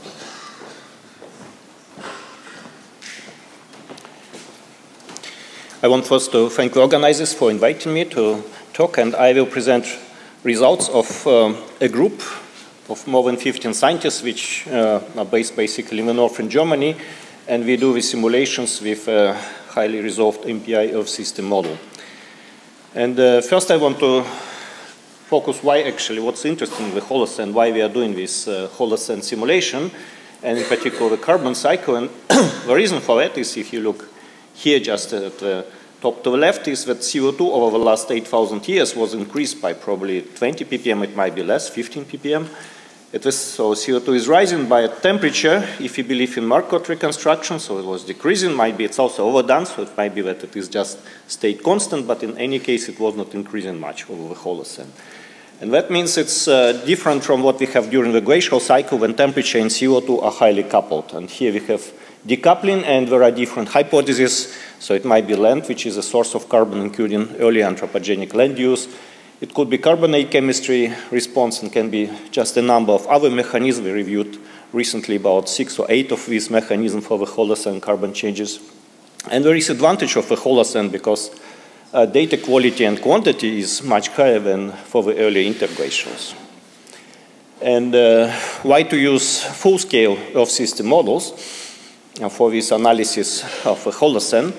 Uh, of course, we want to focus on coupled climate carbon dynamics, and we want to use geological archives for that. There was already a number of simulations we did with intermediate complexity models, but the temporal and spatial resolution is quite coarse. So it's, and variability is not re well represented. That's why we want to do it with full-scale ESMs. And of course, these models are models used for the future projection, so we can make a link between past and future. And last but not least, we can do transient simulation now because we can do them. Because the models are becoming faster. So this model, which is in T63 resolution, it's about 1.8 uh, degrees. Uh, we run it for 8,000 years, from 8K to pre-industrial, in atmosphere, ocean, land, carbon setup, and the model full setup runs about 60 years a day, so it was basically half a year experiments, or it was several experiments we did uh, in parallel. And uh, we used, as for spin-up, we just had no better idea than just to equilibrate it with forcing at 8,000 years. And when we use forcing like orbital forcing, uh, methane and N2O from ice cores, we use volcanic eruption, solar variability, and for CO2, we did a, a, bit of novel thing. We nudged it to the ice core data using ocean alkalinity because we want that CO2 follows the observed trend. Otherwise, uh, our carbon cycle will be disturbed. We cannot conclude much on that. And that's what coming out of this simulation. So let me explain. So that's 8,000 years, starting from the left to the right. So this, the red line is observed ice core data, and the magenta lines around it is simulated atmospheric CO2. So you can see that there is some variability in it. There are some jumps. Uh, but in general, we follow the observed CO2 trend. And uh, that's, if you look at the green line, this is a land carbon. So we see that the land carbon is increasing. So by uh, let's say, 4,000 years, we have about 60 gigaton more on land, and then it's starting slowly to decline. And then during the last 2,000 years, we definitely have a source of uh, land carbon because of land use. We were not able to capture this drop around 1600, so I think no other interactive carbon model can do that. And uh, for ocean, well, ocean is a CO2 source in our simulation. And what is interesting is a period of volcanic eruption. I will come uh, to that uh, in the following slides. What, we have, uh, what do we have with vegetation changes? Because we have dynamic vegetation model here. So that's comparison of 8K relative to 2K. I will take this reference because it's kind of pre-industrial, not disturbed by land use. So we get much greener Sahel-Sahara, that's the changes in vegetation cover, so green here is more vegetation. Uh, well, we have changes in, you know, in uh, Central uh, North America, which was dry, and when there is less vegetation and also less trees. We have northward shift of boreal forest, I would say nothing unusual, but it's nice to get that with a full-scale ESM. And if you look at the distribution of, if you discretize it and use the biomes, let, uh, so here the shading is uh, in accordance with the classes and the circles are coming from the pollen database. And uh, you probably can't see much of Europe, uh, but generally if you look in the patterns, so we get the patterns in the model reasonably in line with the model data. Even in the North Africa, we have just more of the uh, Sahel area, and we have just expansion of uh, vegetation towards the north, and it will be, if you're interested in details, it will be talk of Martin Claussen uh, on that on Friday on North African development. If you go back to the land carbon storage, so what happened with the land carbon over the last, uh, the patterns over the last 8,000 years. So here, just to confuse you, I pick up uh, 2,000 years ago as a reference period. So that is 8,000 years relative to 2K, so the uh, green means here more carbon at 8,000 years ago, but you can see that here in Africa we have much more carbon because of uh, much gr greener and denser vegetation here. Uh, but in general, on the planet, we have less carbon in particular because we have less uh, CO2 fertilization at that time, in, according to the model. And uh, we generally have drier uh, climate, for instance, here in Amazon. So in total, we have about 50 gigaton of carbon less at the 8K, and that was a bit of surprise because if you do offline simulation with JS we come to much bigger value, like 100 petagram of carbon, because CO2 fertilization is quite effective. And then if you go from this, again, taking 2K as a re reference period, and then we go to the IPCC uh, pre-industrial 1850 period, then we see that there is this brown color, so land loses carbon mostly because of uh, historical deforestation. So these patterns reflecting very much uh, our scenario, which is in that case uh, coming from George Hurtt data. Uh, what is interesting in our run is that we used a new volcanic record. It's coming from Greenland, so it might be that we overdid it because in Greenland uh, a lot of sulfate deposition are coming from Iceland, volcanic. So that's uh, a caveat in our analysis, but what interesting in is that around these 5.2K events, we have not much strong eruptions, but we have a longer period of uh, sulfate deposition in Greenland, and uh, that was a forcing to the model. And if you look at how carbon cycle respond to this volcanic eruption, so we did several simulations. One of them I was showed before was a Natch CO2, but I want to also throw results from prescribed CO2, where we just prescribe CO2 exactly in the uh, ice core record. And then we see that during the beginning of eruption, when the temperature gets colder by about one degree, we have first increase in land carbon storage because respiration becomes less.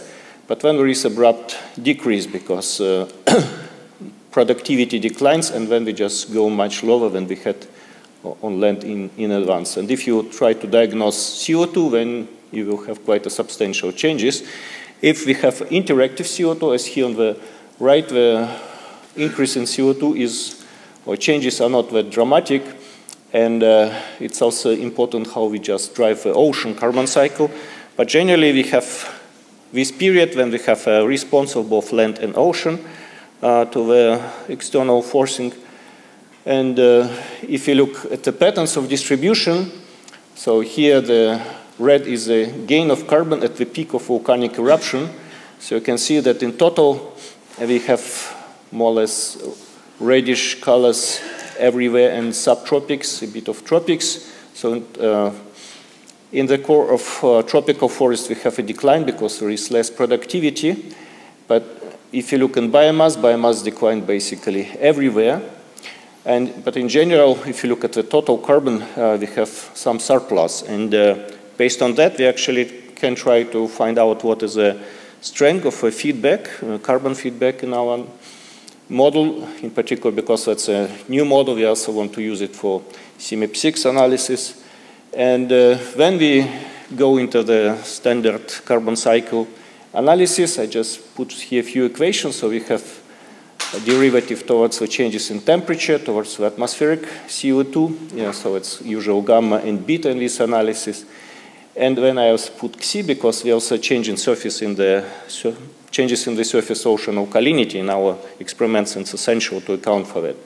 And then we have uh, five unknown parameters, gamma, beta for land and ocean, and this alkalinity sensitivity. And then we have actually three experiments here. We have two interactive ones for this period.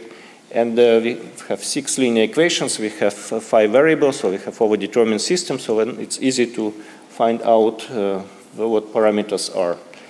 And then we can find them out and map it on particular CMIP5 models. So for climate sensitivity, we have about the same sensitivity as in CMIP5 simulation, so it is a red dot here, the alpha. So for land response, for beta, uh, we have actually, uh, because system is overdetermined, we can say something about uncertainty, so it's beta is quite uncertain, but generally it is within the range and also within the range of what we have in uh, CMIP5 in our model. For gamma, we have, a, uh, for land, we have much less value because we use a new land surface uh, or soil carbon model YASSO, and YASSO has uh, much more carbon in the fast pool, which seems to be reasonable, and then our gamma is much reduced, even without nitrogen, accounting for nitrogen. And uh, because of that, uh, so we have smaller gamma, and if you try to calculate the gain factor, so in our new model, the carbon feedback uh, has twice less gain than in CMIP 5. So instead of 10%, we have something like 5% amplification factor. I thought it's still positive. Uh, now I come to my conclusion. So I try to show that full-scale ESMs are now capable to do long-term simulations, so it's feasible to do it. We also try nudge CO2 mode because otherwise it's not interesting to look in the carbon cycle. Land carbon feedback gamma is positive. I found that. CO2 fertilization is negative, no surprise. I have not talked about peat accumulation, which would make a simulation even more complicated, but it's also a negative feedback. We found that land carbon changes explain CO2 after 2,000 years ago. I cannot talk about biophysical feedback, but they are minor in our way. And uh, we are just coming to the point of setting up initial condition for this equilibrium, uh, for this transient run. It's a challenge. We want to learn something from EMICS. My last slide is the announcement of a conference we have in Hamburg at the end of August. So you're welcome to submit an abstract very soon. Thank you. So thank you, Victor. I've opened the floor for, um, thank you for sticking to the time frame. Um, open the floor for um, any questions.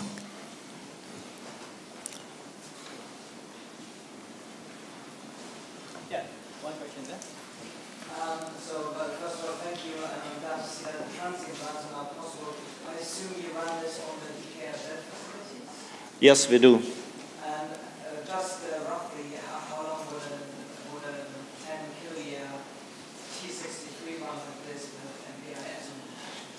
It will be about a year. Yeah, so that's one year. I mean, we, the main trouble we have with ECHAM model, it's difficult to parallelize it, so we just stop doing that. So with 60 years a day, you can easily calculate uh, that we need about a year to make this run. But uh, this Holocene run was about half a year, and uh, basically we set up several runs in parallel, so it's possible, it's feasible, it just doesn't take much out of computer time because we use very few nodes of a computer. Any more question? Yes, gentleman. Yeah, go ahead. So, uh, you, said, you said that the biophysical effects are small, and this is in spite of massive changes in non-power and land use. Please, if you mind. Well, that's what we see in our uh, Earth system models because you, land cover changes are usually have an impact on atmosphere through the regional effect. So regionally, it can be quite substantial. It might be amplification, let's say, of dryness or amplification of temperature change by about 20%.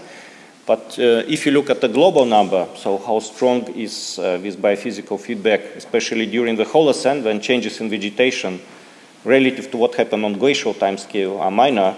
So it's just within 0.1, 0.2 degrees of global temperature change, and that's within variability of a climate system. So we basically have a trouble to see these uh, changes on, uh, on this due to very low uh, signal to noise ratio. Yes?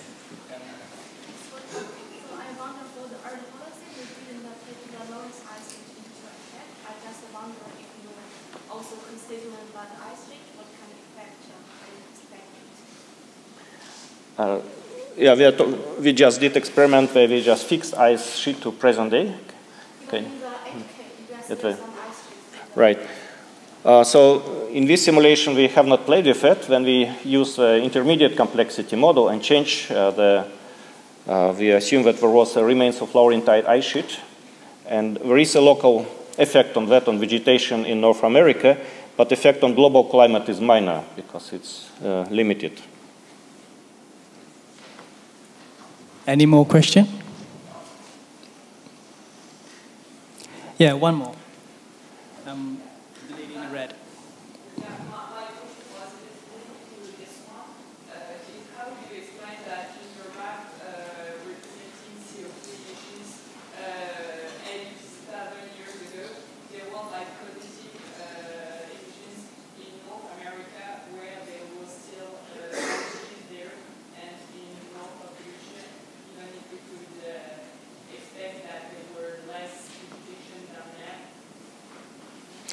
Yeah, I, I, fully agree that if you just talk, look at the North and North America, of course, uh, if you assume that there were no ice sheet there, remains of Laurentide ice sheet, it's unrealistic. So just to, to make this experiment correct, we need uh, to do deglaciation run, which would be just a next step. Uh, so our main concern here was uh, with carbon budget, and uh, we don't think that these ice sheets uh, remaining there affect much the carbon storage. Okay, thank you, Victor. Uh, with that, I would like to um, go to the next talk by um, Jed Kaplan from University of Lausanne. So this will be the last talk, not the last talk in this session, but the last talk on vegetation and interaction of climate um, at the more recent geologic times. Is that okay? Can everyone hear me? I like podiums. Okay. Hello, everyone. Thank you very much great to be here. And I think that uh, watching the last few talks, for those of you who have been here this morning, you've really already started to get an idea of how much progress we have actually made in modeling what I would call paleo vegetation modeling. So, modeling uh, the Earth's vegetation over long time scales. And I'm going to talk a little about the late Quaternary. I think that Victor's talk was really sort of trailblazing in showing um, where this is going in the future. And obviously, I don't have any of his slides on my own presentation. But what I, what I want to do, first of all, is, um, is emphasize that I'm, I'm certainly standing on the shoulders of giants here. Many of, many of these people are actually in the room. So um, thank you to everyone who pioneered paleovegetation modeling, and also, obviously, to the, to the generous people who give us money to work on this kind of these exciting topics. Why are we doing paleovegetation modeling? Well, we are interested in the way the Earth system works. And obviously, the Earth's land surface is a very important part of the Earth system. and studying changes in the Earth's land surface in the past really give us an opportunity to understand how the Earth system behaves uh, in a time for which we have some independent evidence of what's going on. Okay, so we have a couple of, I would say, relatively influential papers talking about uh, the role of the Earth's land surface in the climate system or in the Earth system in the past. And I would just now give you kind of a very, very, very, very quick overview of the sort of history of paleovegetation modeling. Um, and I've left out a lot of papers that are there, but just to give you some of the ones that I think were more most important, most influential in uh, the way this is evolved over the last 25 years or so. So the first evidence I could find of a, of a study that really did paleovegetation modeling comes not that long ago. It's, a, as I said, 25 years ago, 1992, before color printers were invented. And you could color, take color pencils and color into maps as you want. Here's a simulation of global vegetation at the last glacial maximum. Um, just shortly there afterwards, we had the, the original sort of Biome model, and you've seen already a couple of maps from different presentations this morning, and I'm probably, I'm sure that maybe some of you have run into them in the past. Um, global maps of vegetation that were uh, for here for, for the sort of present day uh, and for the last glacial maximum um, already uh, now 25 years ago. This is sort of the beginning of paleo vegetation modeling, if you want. Um, as soon as these paleovegetation models existed then, people tried to, scientists tried to use them to study various interesting aspects of the Earth system. And so one of those here is an example of uh, glacial inception. Why did glacial, why do ice ages start? Is there a land atmosphere feedback associated with uh, glacial inception, and is that related to vegetation cover change? So here was a nice paper, and various other works over the years have followed up on that. Another one is the sort of vexing problem of the so-called Green Sahara. Why was the Sahara, uh, why does the vegetation of the Sahara appear to uh, indicate more humid conditions during the Middle Holocene? What is the role of vegetation and in vegetation atmosphere feedbacks in influencing that vegetation cover? Biodiversity is also another issue that was studied with paleovegetation models, and here's some simulations of East Asia for, um, for uh, the last glacial maximum. If you have any questions about this, you can ask Sandy because she's right here in the front of the room. Um, the first global vegetation models were typically what we call equilibrium models. So they would, you would run them with a climatological mean climate and they would produce you sort of a vegetation map for a particular time slice, okay? It was took another 10 or so years before we had dynamic vegetation models that could be used to make transient simulations. And everything that you've seen, or a lot of what you've seen, particularly what you saw now in Victor's talk, uh, previously used dynamic vegetation models. The first dynamic vegetation models were also now about 15 years ago, where we had investigated changes in this kind of glacial interglacial carbon cycle. You can see this is still a prescient question. We still haven't actually cracked this. What happens to the terrestrial biosphere on a glacial interglacial cycle. Though we were already attempting to do that now about 15 years ago. Um, Victor mentioned experiments with intermediate complexity models. Here is just some early results from one of his models showing the first attempt to do fully coupled vegetation in an Earth system model of relatively coarse spatial resolution, as you can see in this picture. Um, the other thing that we did is we started to think about vegetation in more detail and thought, talk about regional studies. And here just an example of some polar vegetation or Arctic vegetation that we uh, that led effectively to the development of the Biome 4 model. And you've seen now also in Camille's presentation some um, results from the Biome 4 model, which refuses to die. I think because it's sort of a is somehow very simple and easy to use, um, and it has been used in many cases to diagnose, to provide a very rapid diagnostic of climate model output. So, it can be hard to look at a map of temperature or precipitation anomalies and know what that actually means for, um, for sort of global climate. But when you plug those into a vegetation model, you can very rapidly get these kind of biomaps, which sort of allows you to very quickly and in a holistically way understand how one model, one climate model produces a climate that is different from another. Um, by 2005, we had the first sort of fully coupled Earth system models that included dynamic vegetation. So it's already, you know, 12 years ago or so. But uh, again, you can see is relatively low resolution and with very, very simple vegetation models. Oh, I really, I can see my slides over here. This is pretty good. Um, now, so paleobiogeochemistry, really we started to get into this around 10 years ago following up on the sort of challenge that was placed to the community, what is the role of the uh, Earth's vegetation in influencing global biogeochemical cycles over long time periods? And we did that. Well, I don't have any particular results to show you here, just a few pretty color maps of uh, vegetation change over the late Quaternary. But uh, these kind of paleobiogeochemical studies also linked to studies on anthropogenic land cover change, and there were a whole slew of papers between 2008 and 2012, and it's still ongoing. It's a new, newer, newer paper by Beni Stocker I didn't put on here now, um, trying to understand the role of human influence on Earth's vegetation cover, influencing the carbon cycle and climate over uh, pre-industrial time.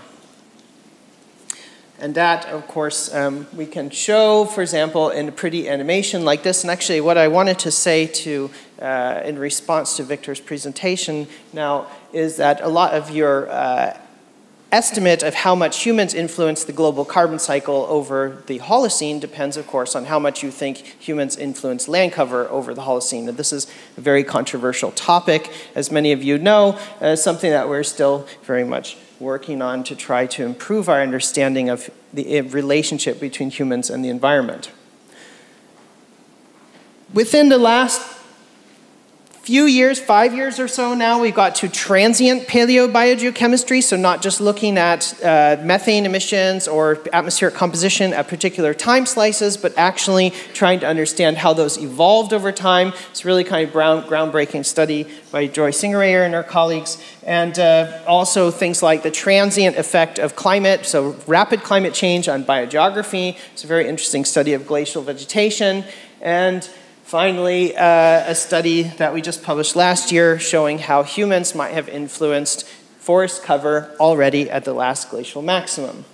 Okay, so I have just a couple minutes left to talk to you about what I feel like are the current situation and known limitations in vegetation modeling, paleo vegetation modeling. Vegetation models do a pretty good job of capturing the broad patterns of global biogeography. If we take uh, West Africa, for example, most vegetation models can simulate the transition from the humid coast to the Sahara Desert. Okay, this models do well. But, and that's led to all kinds of great improvements in our understanding of the Earth system. But models are still weak at a lot of things.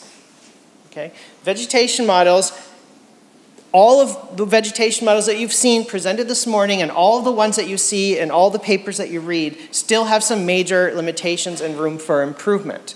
Okay? For example, simulating ecotones is not something models do very well. And this is an interesting ecotone. Here you have a forest in the background, you have some kind of um, shrub steppe in the foreground, you also have these grazers on the landscape. Okay, most vegetation models don't have any, uh, any way of representing the influence of grazers on vegetation. The other thing most vegetation models do is simulate global vegetation in a very simple way as a function of just a few plant functional types.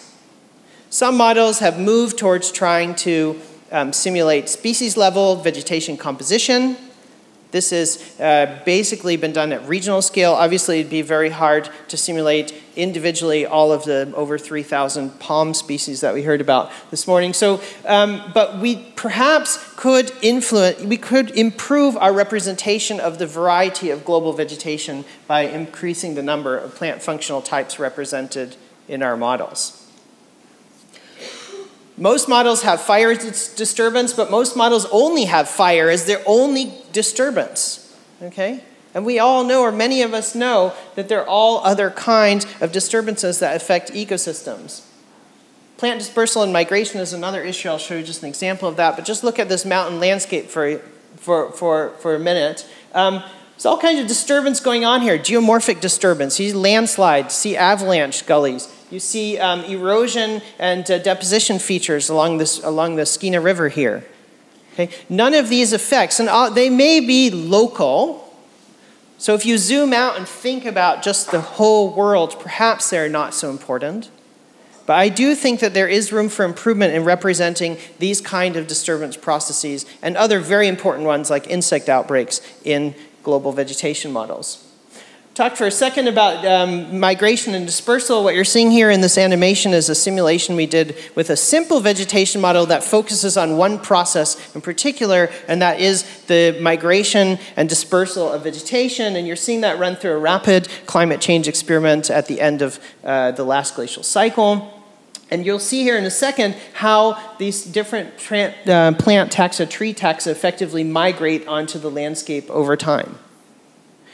Once we start to improve the temporal and spatial resolution of global models, and we're starting to see that now in the presentation of Victor and others, okay, then we, can, then we really start to need to start thinking about these processes that are not included in vegetation models.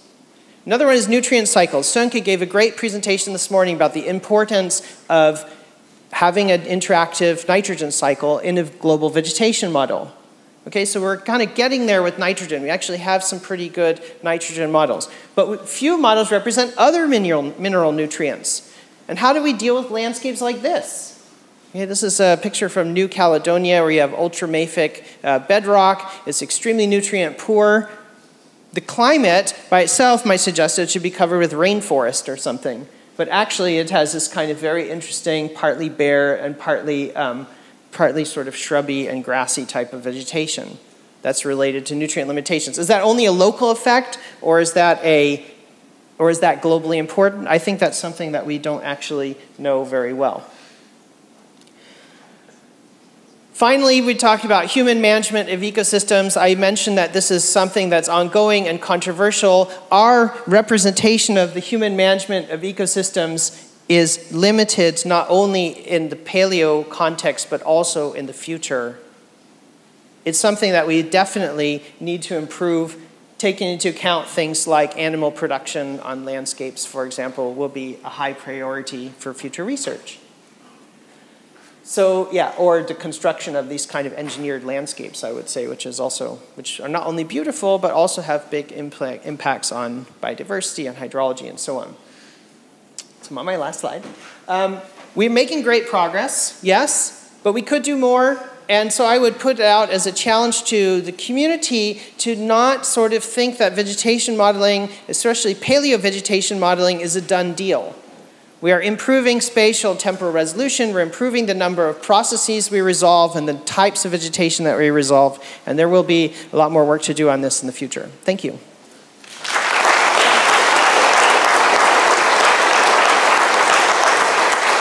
Thanks for the intriguing talk. Um, I would like to open the floor for any question.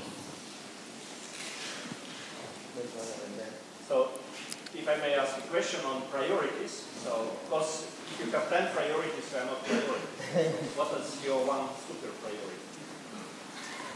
Well, of course, I, of course, Victor, I have my pet priorities.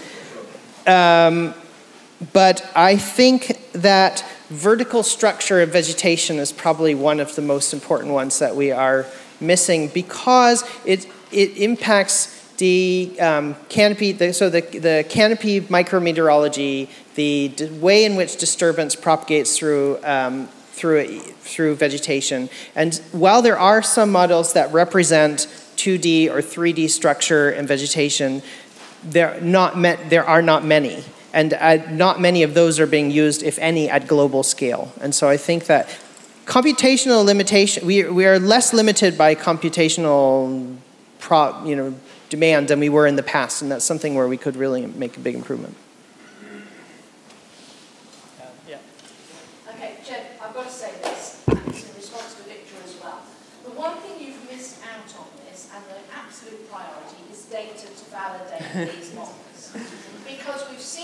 Morning, you run a model, you get some results, and you put more and more parameters in, you make it more and more complex, and it's, it's fairyland. I'm sorry, it's not real unless you can validate those parameters and those distributions. Yes. You're, you're absolutely right. You're, you're, you're absolutely right. And actually, I, I, um, I think we're in an exciting time for collecting more data because we have a lot more people collecting data, we have lots more ways of managing data, and we even have some interesting new technologies like things like drone-based LiDAR, which are going to be able to give us in a cheap way, a three-dimensional picture of what a vegetation structure looks like and allow us to inventory biomass, that's going to help. I want to see a LiDAR supply as 21,000 years ago. Yeah, okay. Well, in a paleo, yes. Yes. Um, one question from the guy, gentleman there. Yeah.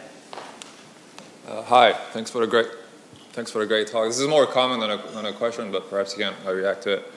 Uh, it seems to me that our understanding of the, in the climate community, of the impact of climate change for the land surface are informed by simple toy things like the Palmer Drought Index or PDSI. That's what you see mainly, and it projects a drier surface because temperature is going up.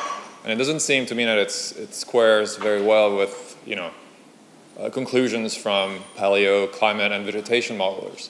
So perhaps one of the priorities or, or one of the uh, needs or, or, the excellent things that could happen with conclusions from that line of work to be uh, more prevalent maybe in our understanding of future impacts of it seems to me that there's a discrepancy there that should uh, somehow be resolved. Yeah, absolutely. I, I, absolutely. I think there's, we tend to like to simplify things. And again, that's why people have used a Biome model as a diagnostic of climate model output. So instead of doing PDSI and saying, oh, here's going to be positive, negative drought or, or pluvial, um, perhaps better is to kind of take that another level and say, here's what the actual impact of that um, climate variability would have on on, uh, on carbon or on vegetation structure or, or, or um, land cover and so on. Um, and coming back to, okay, so to link that to Sandy's previous point, yes, we need more paleo data and we need more paleo data at high temporal resolution because we, a lot of what we're talking about in the future is climate change occurring on sort of centennial timescales, and the, a lot of the paleo data we have has not been collected in a way that's going to allow us to investigate those things. And that's really, that's a, that would be a critical priority, absolutely.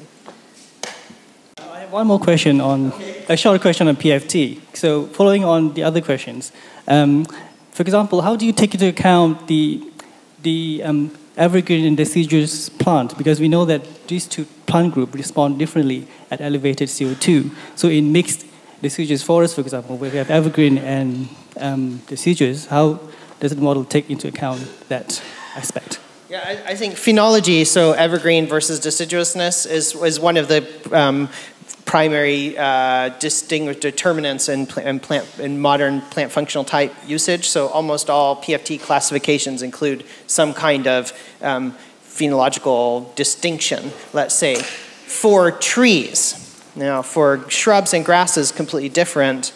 And there, um, this, uh, there's also a lot of room for improvement and understanding the way that phenology um, phenological diversity uh, exists in, in um, herbaceous and shrubby vegetation.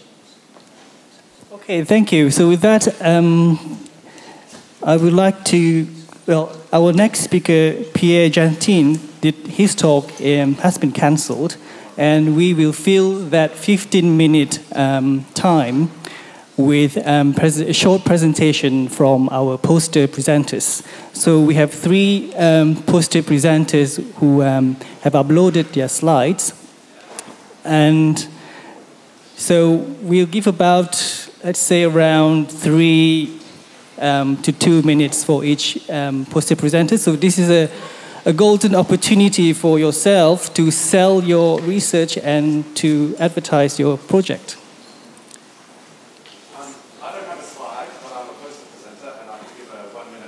Oh yeah, that would be great. So, um, so the first slide.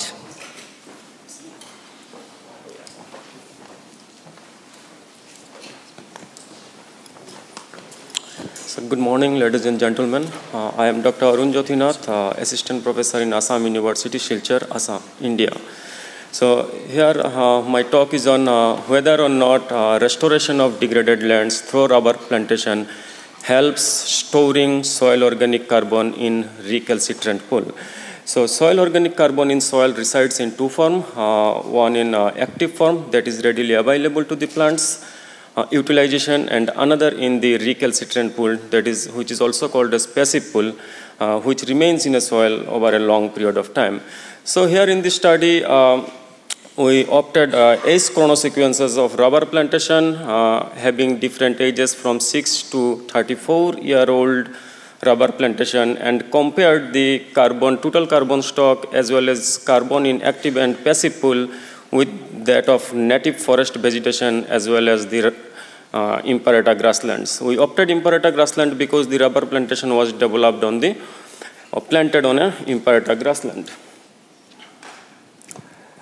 Uh, this shows the total carbon stock uh, for 0 to 20 top layer, 0 to uh, um, 20 centimeter soil, and this uh, for 0 to 100 centimeter, like one up to 1 meter soil depth. Uh, this implies that uh, with the increase in age of the plantation, the total soil carbon stock increases, but this was much less than the forest soil carbon stock, but this was more, around 20% more than the grassland carbon stock. Then we compared the active and passive carbon pool for different age chronosequence as well as the uh, forest and the imperata grassland and this shows for up to one meter depth this rubber plantation can store more of the carbon in recalcitrant pool over that either of uh, forest or the grassland. And the reason uh, we explored, and that shows the litter production uh, for the mature plantation for about 15 years, above ground litter production increases uh, like 8 megagram per hectare, then the then the uh, or, uh, soil organic matter uh, that tries to store in the form of recalcitrant pool. So the conclusion of the study is that uh, managing old age rubber plantation can help storing uh, soil organic carbon in the recalcitrant pool and which is very important in the context of climate change mitigation and therefore restoration of degraded land through rubber plantation can enhance carbon sink capability of the soil. Thank you. Thank you, Arun. Um, so I would like to ask you to, um, the participants to cut down your presentation to one minute. The next one.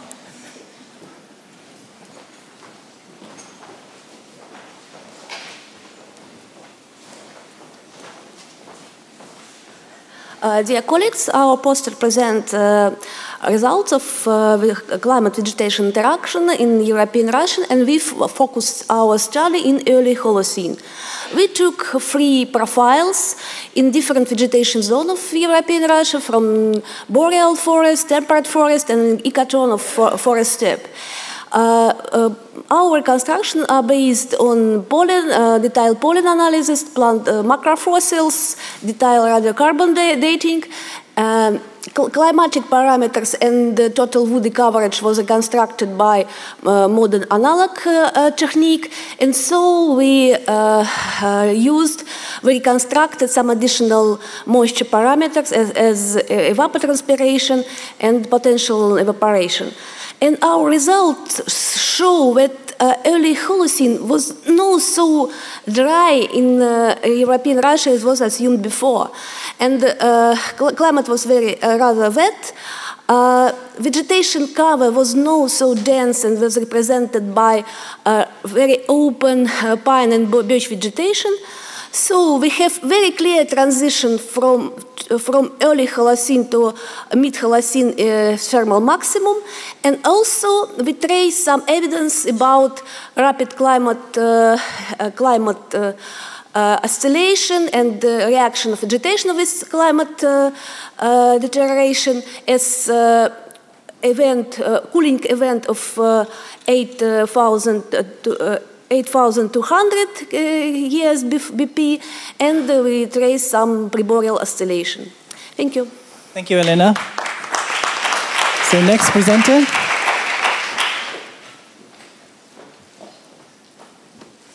Okay, I'm back just uh, to present a poster of my student, Philipp Sommer, couldn't be here, unfortunately. Um, we're trying to model human environment interactions in pre-industrial time. And go to the next slide. Uh, essentially what we're trying to, what, what we are doing is realizing that there are properties of the physical environment that determine human environment interactions. And there are sociocultural characteristics of humans that we cannot predict on the basis of any properties of the physical environment. And we're just acknowledging that and saying, okay, we're going to use that information. Fortunately, for the past, we actually have information about the characteristics of different societies on the, from archaeological and historical records. And we put those together into a human environment interactions model, and the outputs of those will be things like land use, land cover, and human populations. So we're moving away from a population driven land use model to something that is more driven by the characteristics of society and the environment in which they live. Come see the poster uh, to learn more. Thank you, Jed. So our next speaker is um, Jordi from Wageningen University. And, oh, sorry, sorry. Okay, one, one minute.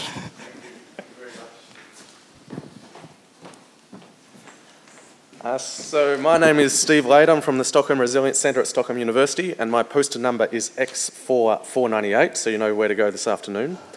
Um, I'd like to open, uh, as uh, during that poster, the what you could call the Pandora's box of biodiversity. So we know climate change will affect biodiversity, but what about the other way around? Does will biodiversity loss affect climate change? In, the, in a deep time perspective, I would say the answer is yes. But the subject of my poster is uh, 21st century climate change, and there the answer is a bit less certain. There are a few different hypotheses out there, and our poster is, uh, starts by reviewing those hypotheses. So, for example, there's the adaptive capacity hypothesis that loss of biodiversity will lead to a decrease in the ability of the biosphere to adapt to climate change. There are also some hypotheses that involve direct effects. For example, uh, less biodiversity will be, mean less ability to exploit all niches in the ecosystem and therefore decreased carbon storage. Um, in our poster, we don't seek to test which of these are true, but we review the literature for these different hypotheses, implement them in a very simple, stylized carbon cycle model, uh, stylized because defining biodiversity is so difficult, and then we use that model to test how important these different aspects of the relationship between biodiversity and climate change could be. Thanks. Thank you. So, our next speaker, without further ado, Jordi.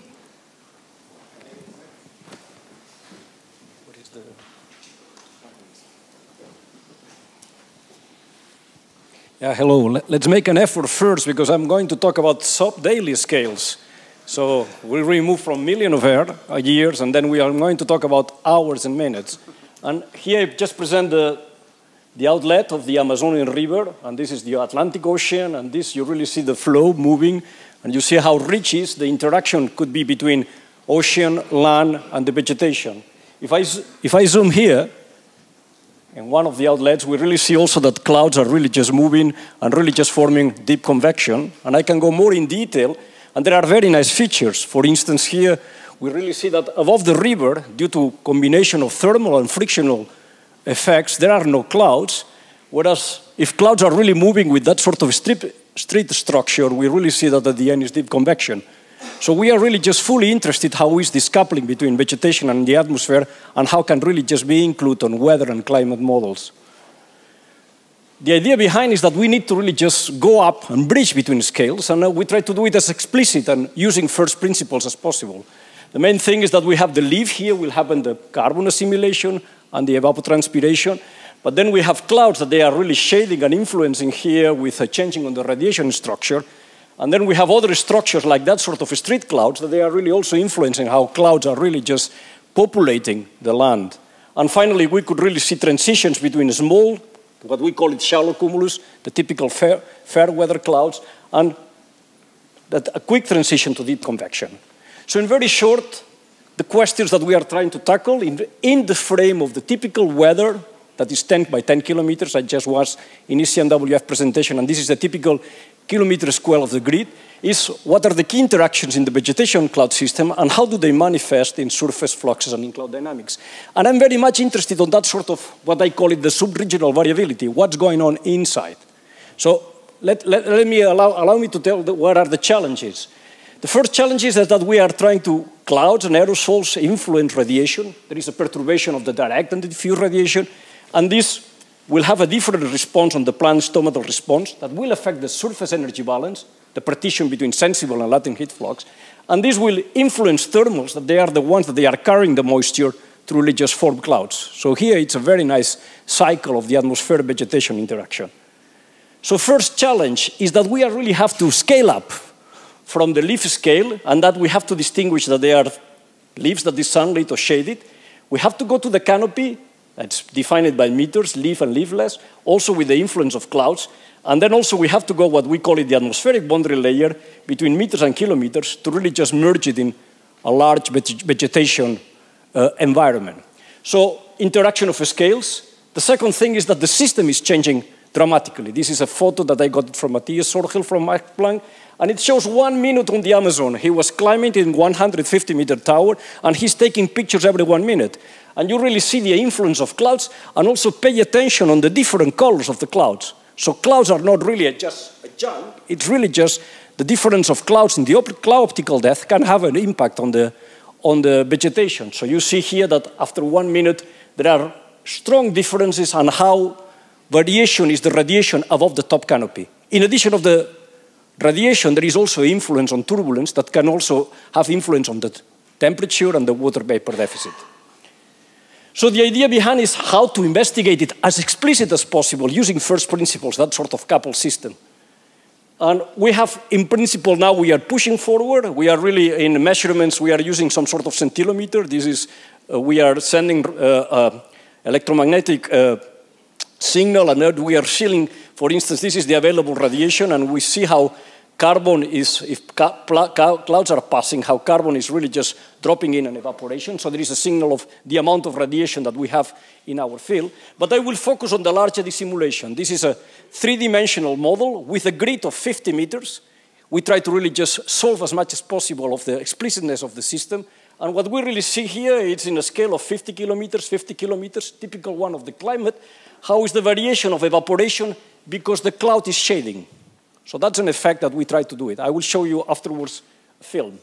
So it's large eddy simulation. We go to cubes of 10 by 10 by 10 cube meters in order to resolve as explicit as possible the atmospheric motions and the coupling with the vegetation. And we are interested in the coupling between biosphere, atmospheric boundary layer, and free troposphere.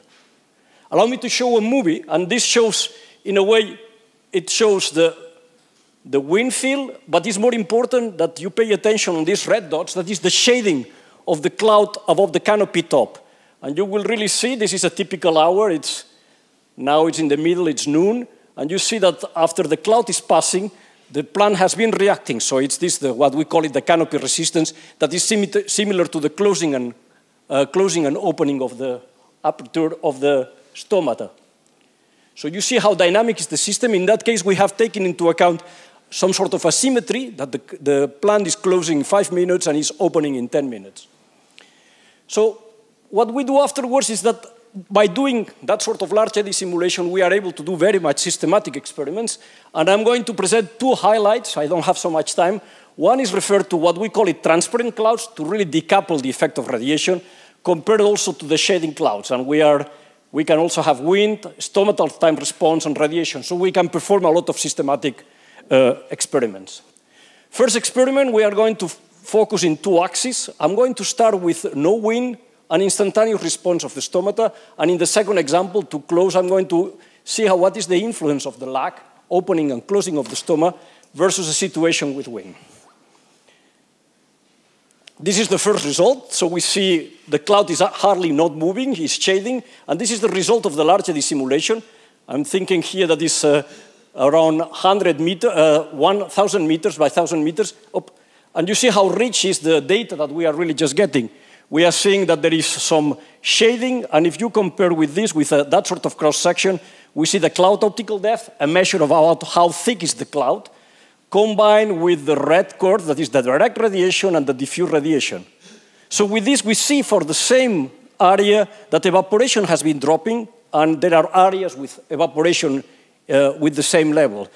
And what we do is what we call it conditional average. So we are really just saying which areas are really just affected by different cloud optical depth. And we obtain a very interesting result.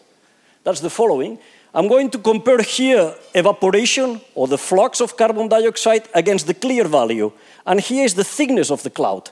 So zero is that there are no clouds. 12 is I have a very dense cloud, optically speaking. What we see that is very interesting is that for relatively thin clouds, evaporation and the flux of carbon dioxide have increased.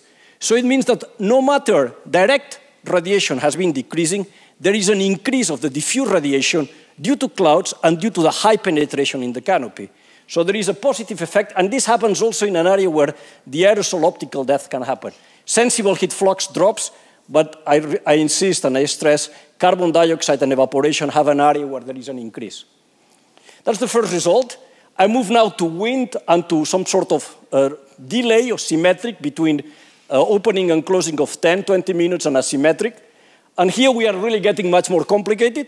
We did uh, 42 large eddy simulations. These are quite expensive computationally speaking, with soil moisture partially limiting grass photosynthesis. We take into account the sun is always overhead, and this is a typical example of typical mid-latitude shallow cumulus. What we find is quite curious is that I'm going to go, this is the transparent case against all the 42 experiments. We see that the global radiation, no matter there are clouds, is highly affected. So it seems that all the system collapse.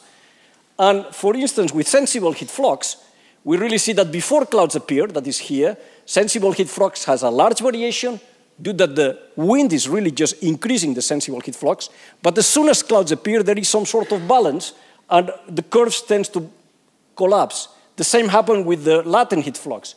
No matter we have clouds, no matter we have really just a lot of variability, it seems that there is some sort of couple system, that there is a lock system that uh, surface fluxes are very tied to the, what is happening to the clouds. So this brings us to the, the last question, is that how do we introduce, how do transfer all that sort of information obtained by the large eddy simulation to a global model or a weather model? And I put you just a simple example that we also repeated. Imagine that we have a cloud cover, and in that case, we can able to simulate it in our large eddy simulation by 20%.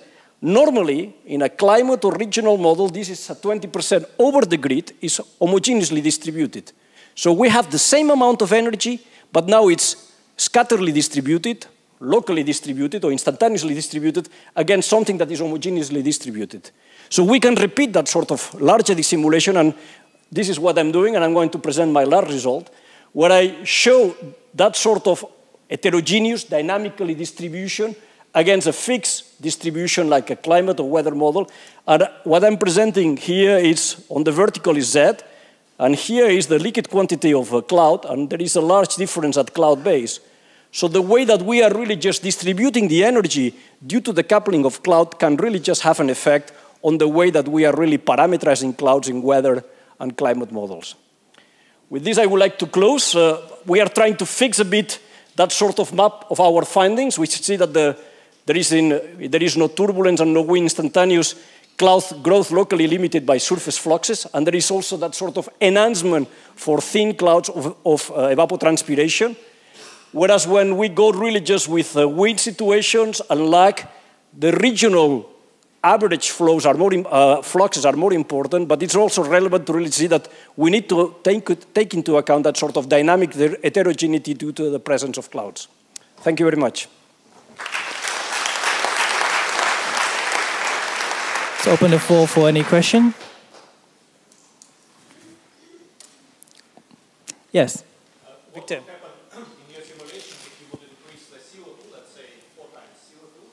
Yes, we have done this, and uh, there is there is a very nice example because there is two. One thing is an increase of CO2, the stomach closes, and then it's, it, it means that there is evaporation goes down, and we have larger sensible heat flux. But larger sensible heat flux makes that the turbulence is higher, so moisture can reach higher levels and condensates. It's uh, quite tricky. We are working on this.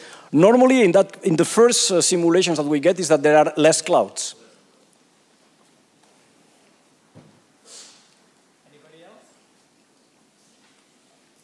Gentleman at the back, could you use the mic? Yeah. Do you, do you know of any uh, experimental uh, comparison or variation of these uh, simulations, for instance, using uh, 18 measurements? It is, as I show it, it's very difficult because turbulence, uh, eddy covariance, you go to 30 minutes, so you are really just missing a bit of the action. We are talking about minutes. Uh, with a scintillometer that combines temporal average and line average, then we could really just see that there are certain variations. We have not yet done it, But we can really just go to measure turbulent fluxes with one or two minute resolution, and then we can really see the level of variation of the surface fluxes with respect of clouds.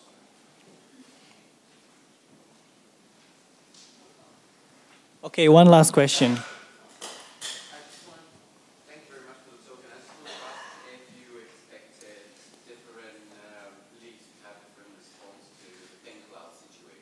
Yes, so it's, it's, it's, it's what I show that depending of if you have thin clouds, the leaf is going to be, in that case, get a bit of less direct, but it's going to increase the diffuse radiation, and in that case, it's really just enhancing uh, uh, the, the plant transpiration.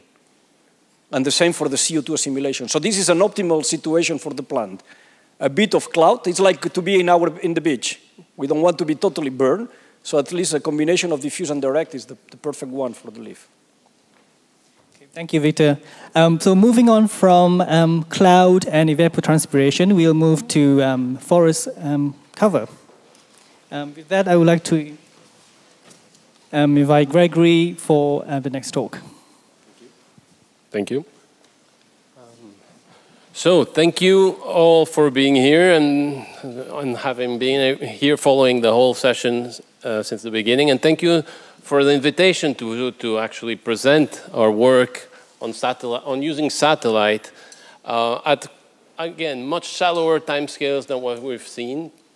Um, but hopefully this will open uh, a bit of perhaps also perspective of what we can actually learn with the, what's actually happening now, hopefully also for modeling in the, in the past. So um, to start, I'd like to borrow this picture from Sebastião Salgado on, to, to talk about the Anthropocene. As, um, as uh, Gilles started also in the introduction, we have arguably entered the age of man, and, uh, and man has left quite a strong mark on the, on the planet. Most of it, um, well, is partly is uh, the, the CO2 that we've had been adding and pumping into the atmosphere by burning fossil fuels and, and the effects of land use change.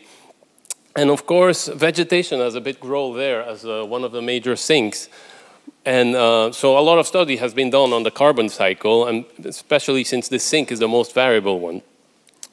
But man also has left another mark, um, more on the surface, I mean, which is from space we can see quite clearly.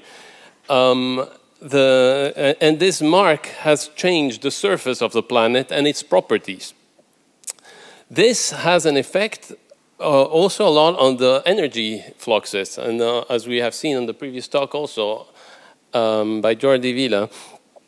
Um, and, uh, and also, these effects of land biophysics are currently not really considered in global climate treaties.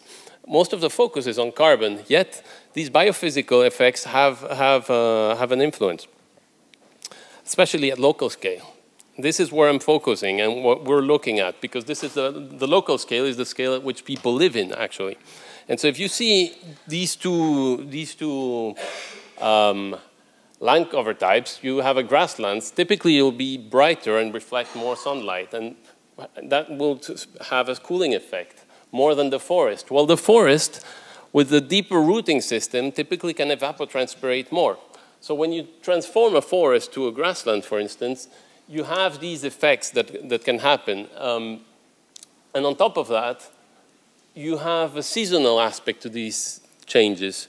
Mostly linked, well, there's the albedo effect by the snow, for instance. So if we take this boreal landscape, um, you, you, can, you can imagine that the high albedo that you have because of um, the snow in this part of the picture, this is reducing, uh, um, this reflecting so much uh, radiation that it's actually having a cooling effect. But this, on the same time, further over there, where you have lower albedo because you have more forest, and these are needle leaf forests, they're absorbing radiation, which means that the air temperature might be higher. Similarly, management can also have an effect on evapotranspiration. In an arid landscape, typically in areas like that, you'll have very strong water limitation, therefore very low latent heat, and uh, high air uh, potentially high, high air temperature because of a sensible heat. But if you irrigate, um, this will allow more, uh, more evapotranspiration and lower locally the temperature. So how to evaluate this, these impacts uh, on the vegetation cover? Well, we use satellite remote sensing data sets. And um, how do we use these satellites?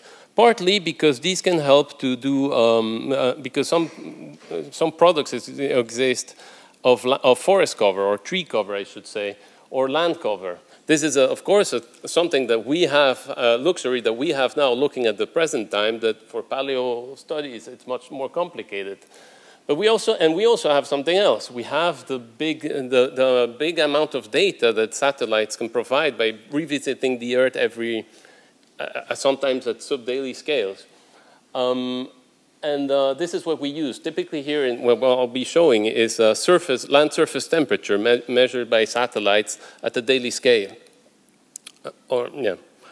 And we have different approach to do this because we need to, to, to it, it, there's tricks to get this, the, the, to get the data speak to and get the, the values we want. So one of them that has been, uh, the, one of them that we use is that when, if you have a landscape like this tropical forest and it changes and there's a deforestation event that occurs, and we have these squares that represent my coarse pixels, for instance, of land surface temperature, I will see an effect on the, because of this uh, land use change. But this effect is, is both of that pixel. This effect is not only the effect of the land use change, but it's also an effect of climate. And we'll typically look at nearby pixels to see a pixel that has not suffered change to see what is the effect of the climate and what is the effect, to factor out the effect of the land cover change from the effect of, of the climate. And this is an actual change, no? The forest did change, and we're measuring before and after what's happening. Now, more specifically, and this is the work of my colleague, Ramdane Alkama, uh, that was uh, published last year, this delta T that, he, that we can measure is composed of this climate variability and this land and, uh, and this, uh, the effect of forest cover. We can rearrange this equation like this. And what he did was, if, um, if you have a, in this graph, a map, uh, you map here the fraction of forest cover from 0 to 1 of the forest cover in 2012, and on that axis, you have the fraction of cover in 2003. So basically, in that square, you'll have less forest in 2012 than in 2003, while here you'll have more forest. Over here, you'll have pixels of stable forest cover. Over there, you have losses, uh, forest losses and forest gains, basically. And he plots then all the measurements we get for every pixel in this space. And you get this, this mess, let's say. Now, what is the local climate variability, uh, the, the signal due to the climate variability? To do that, he looks at around the pixel, at pixels that have not changed, as I told you before, and he gets the same kind of surface. And when you subtract them, you end up with quite a clear signal in which, um, for a given area in which we have uh, done these measures, um, you, you, you see that going from a point A in which we have full forest to a point B in which we have deforested totally the, the area, there is a change. Uh, the, the, these values represent the amount of, of temperature, of land surface temperature that we expect, that, that, that is actually, that we could expect for a full transition.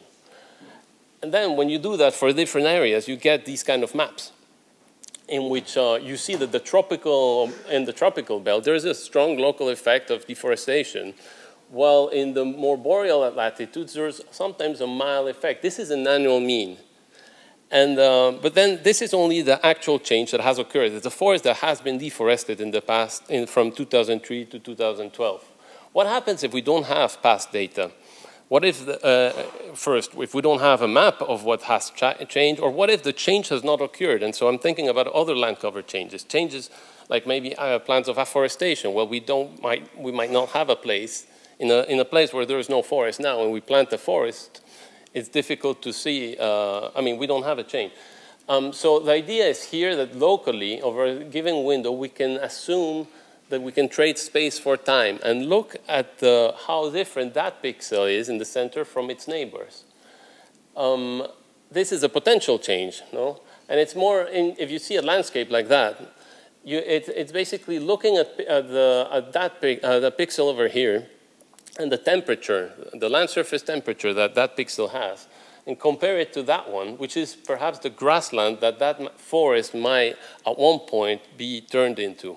Of course, I'm not talking about the direct transition. The direct transition will look perhaps more like uh, after a deforestation event about what you have over there, where you have like a place where, which was recently deforested. But this is the stable, more stable land cover that you can expect after a given time.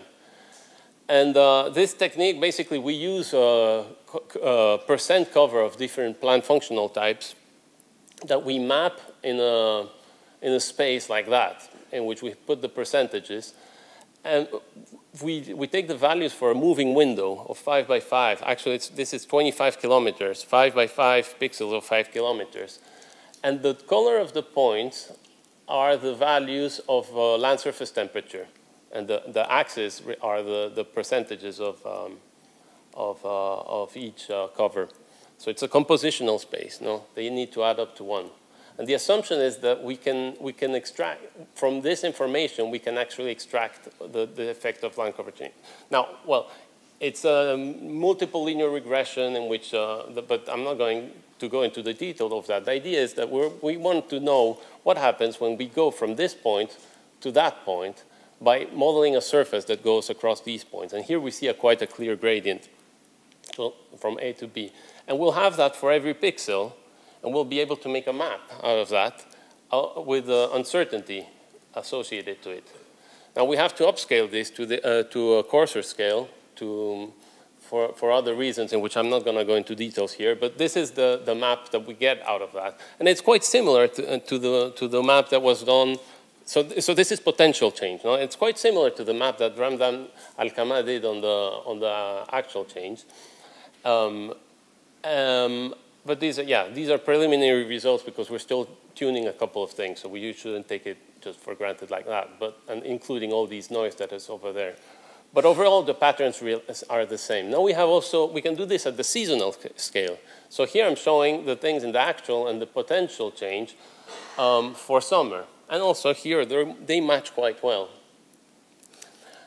And winter. And in here you see more the effect of the albedo, of the snow uh, cover, because in many parts of, of Europe, you actually have a cooling when you deforest, because um, because uh, because you're actually because when you don't have the forest, there's more snow that is reflecting more, and this dominates the evapotranspiration effect. Now, lastly, we also can explore the daily amplitude because actually the satellites we use are measuring land surface temperature at the day and at night. And so this gives us an, an idea of the minimum and maximum temperature that we can expect in the day. And here we see that the, pretty much uh, every, uh, the temperature, uh, the daily amplitude increases across the board from our, from our results. And this is just to show you with the annual mean, the difference between the annual mean. And to stress a bit that, yeah, these things these local effects, again, these are local effects. I'm not talking about large-scale deforestation of the whole boreal area and things like that that might have big effects of planetary scale. But so these, when they add up, might be quite less than the carbon, the, the effect of pumping carbon into the atmosphere, but locally, this has an impact on people. So to summarize, we have two methods that generally agree to, but not everywhere, and we still need to fine-tune on things to understand what's happening there.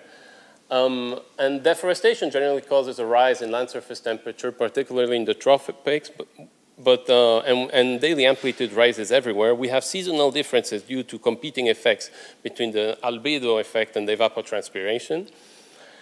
And step forwards, well, this is going to be part of a big data set in which we're going to be in which we explore actually many land cover transitions and with different variables. We're focusing on biophysics. So be, here I'm showing land surface temperature with the, the effect of, of the, of the, of, uh, but, uh, uh, yeah, but, but, we also have uh, the, this kind of information that we, relate, that we get for latent heat or sensible heat and net radiation, which actually are those which explain why the temperature goes up and down.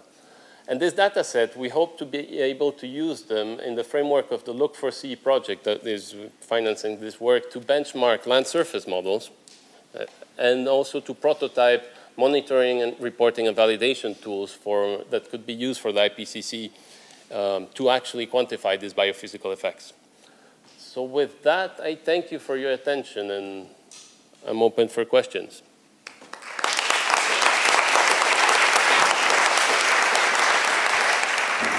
Um, so thank you for the presentation. Um, any question? Yes. Uh, the question is, tell me please, uh, is it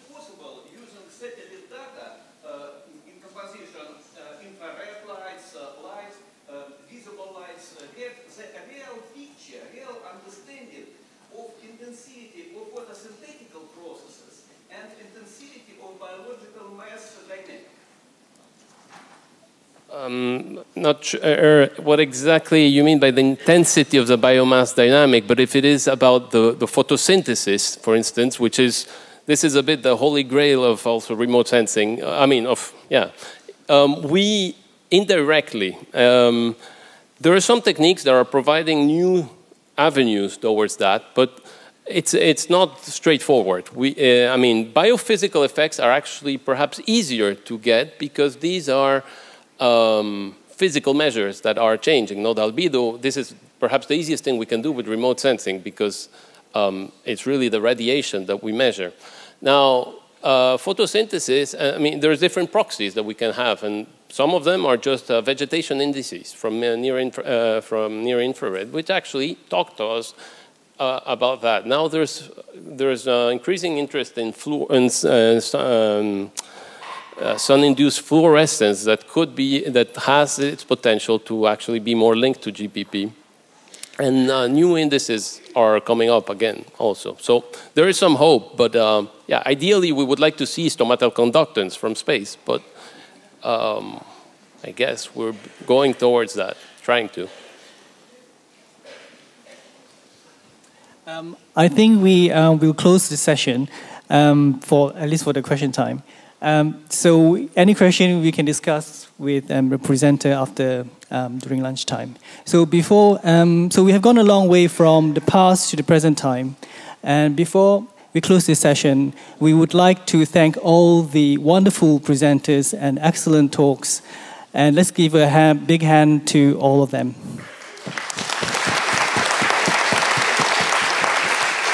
So. So don't, we like to invite you to our poster session. So it's X4 uh, 4982 Uh, it's a building across the road uh, from 1 to 3 to 3 p.m.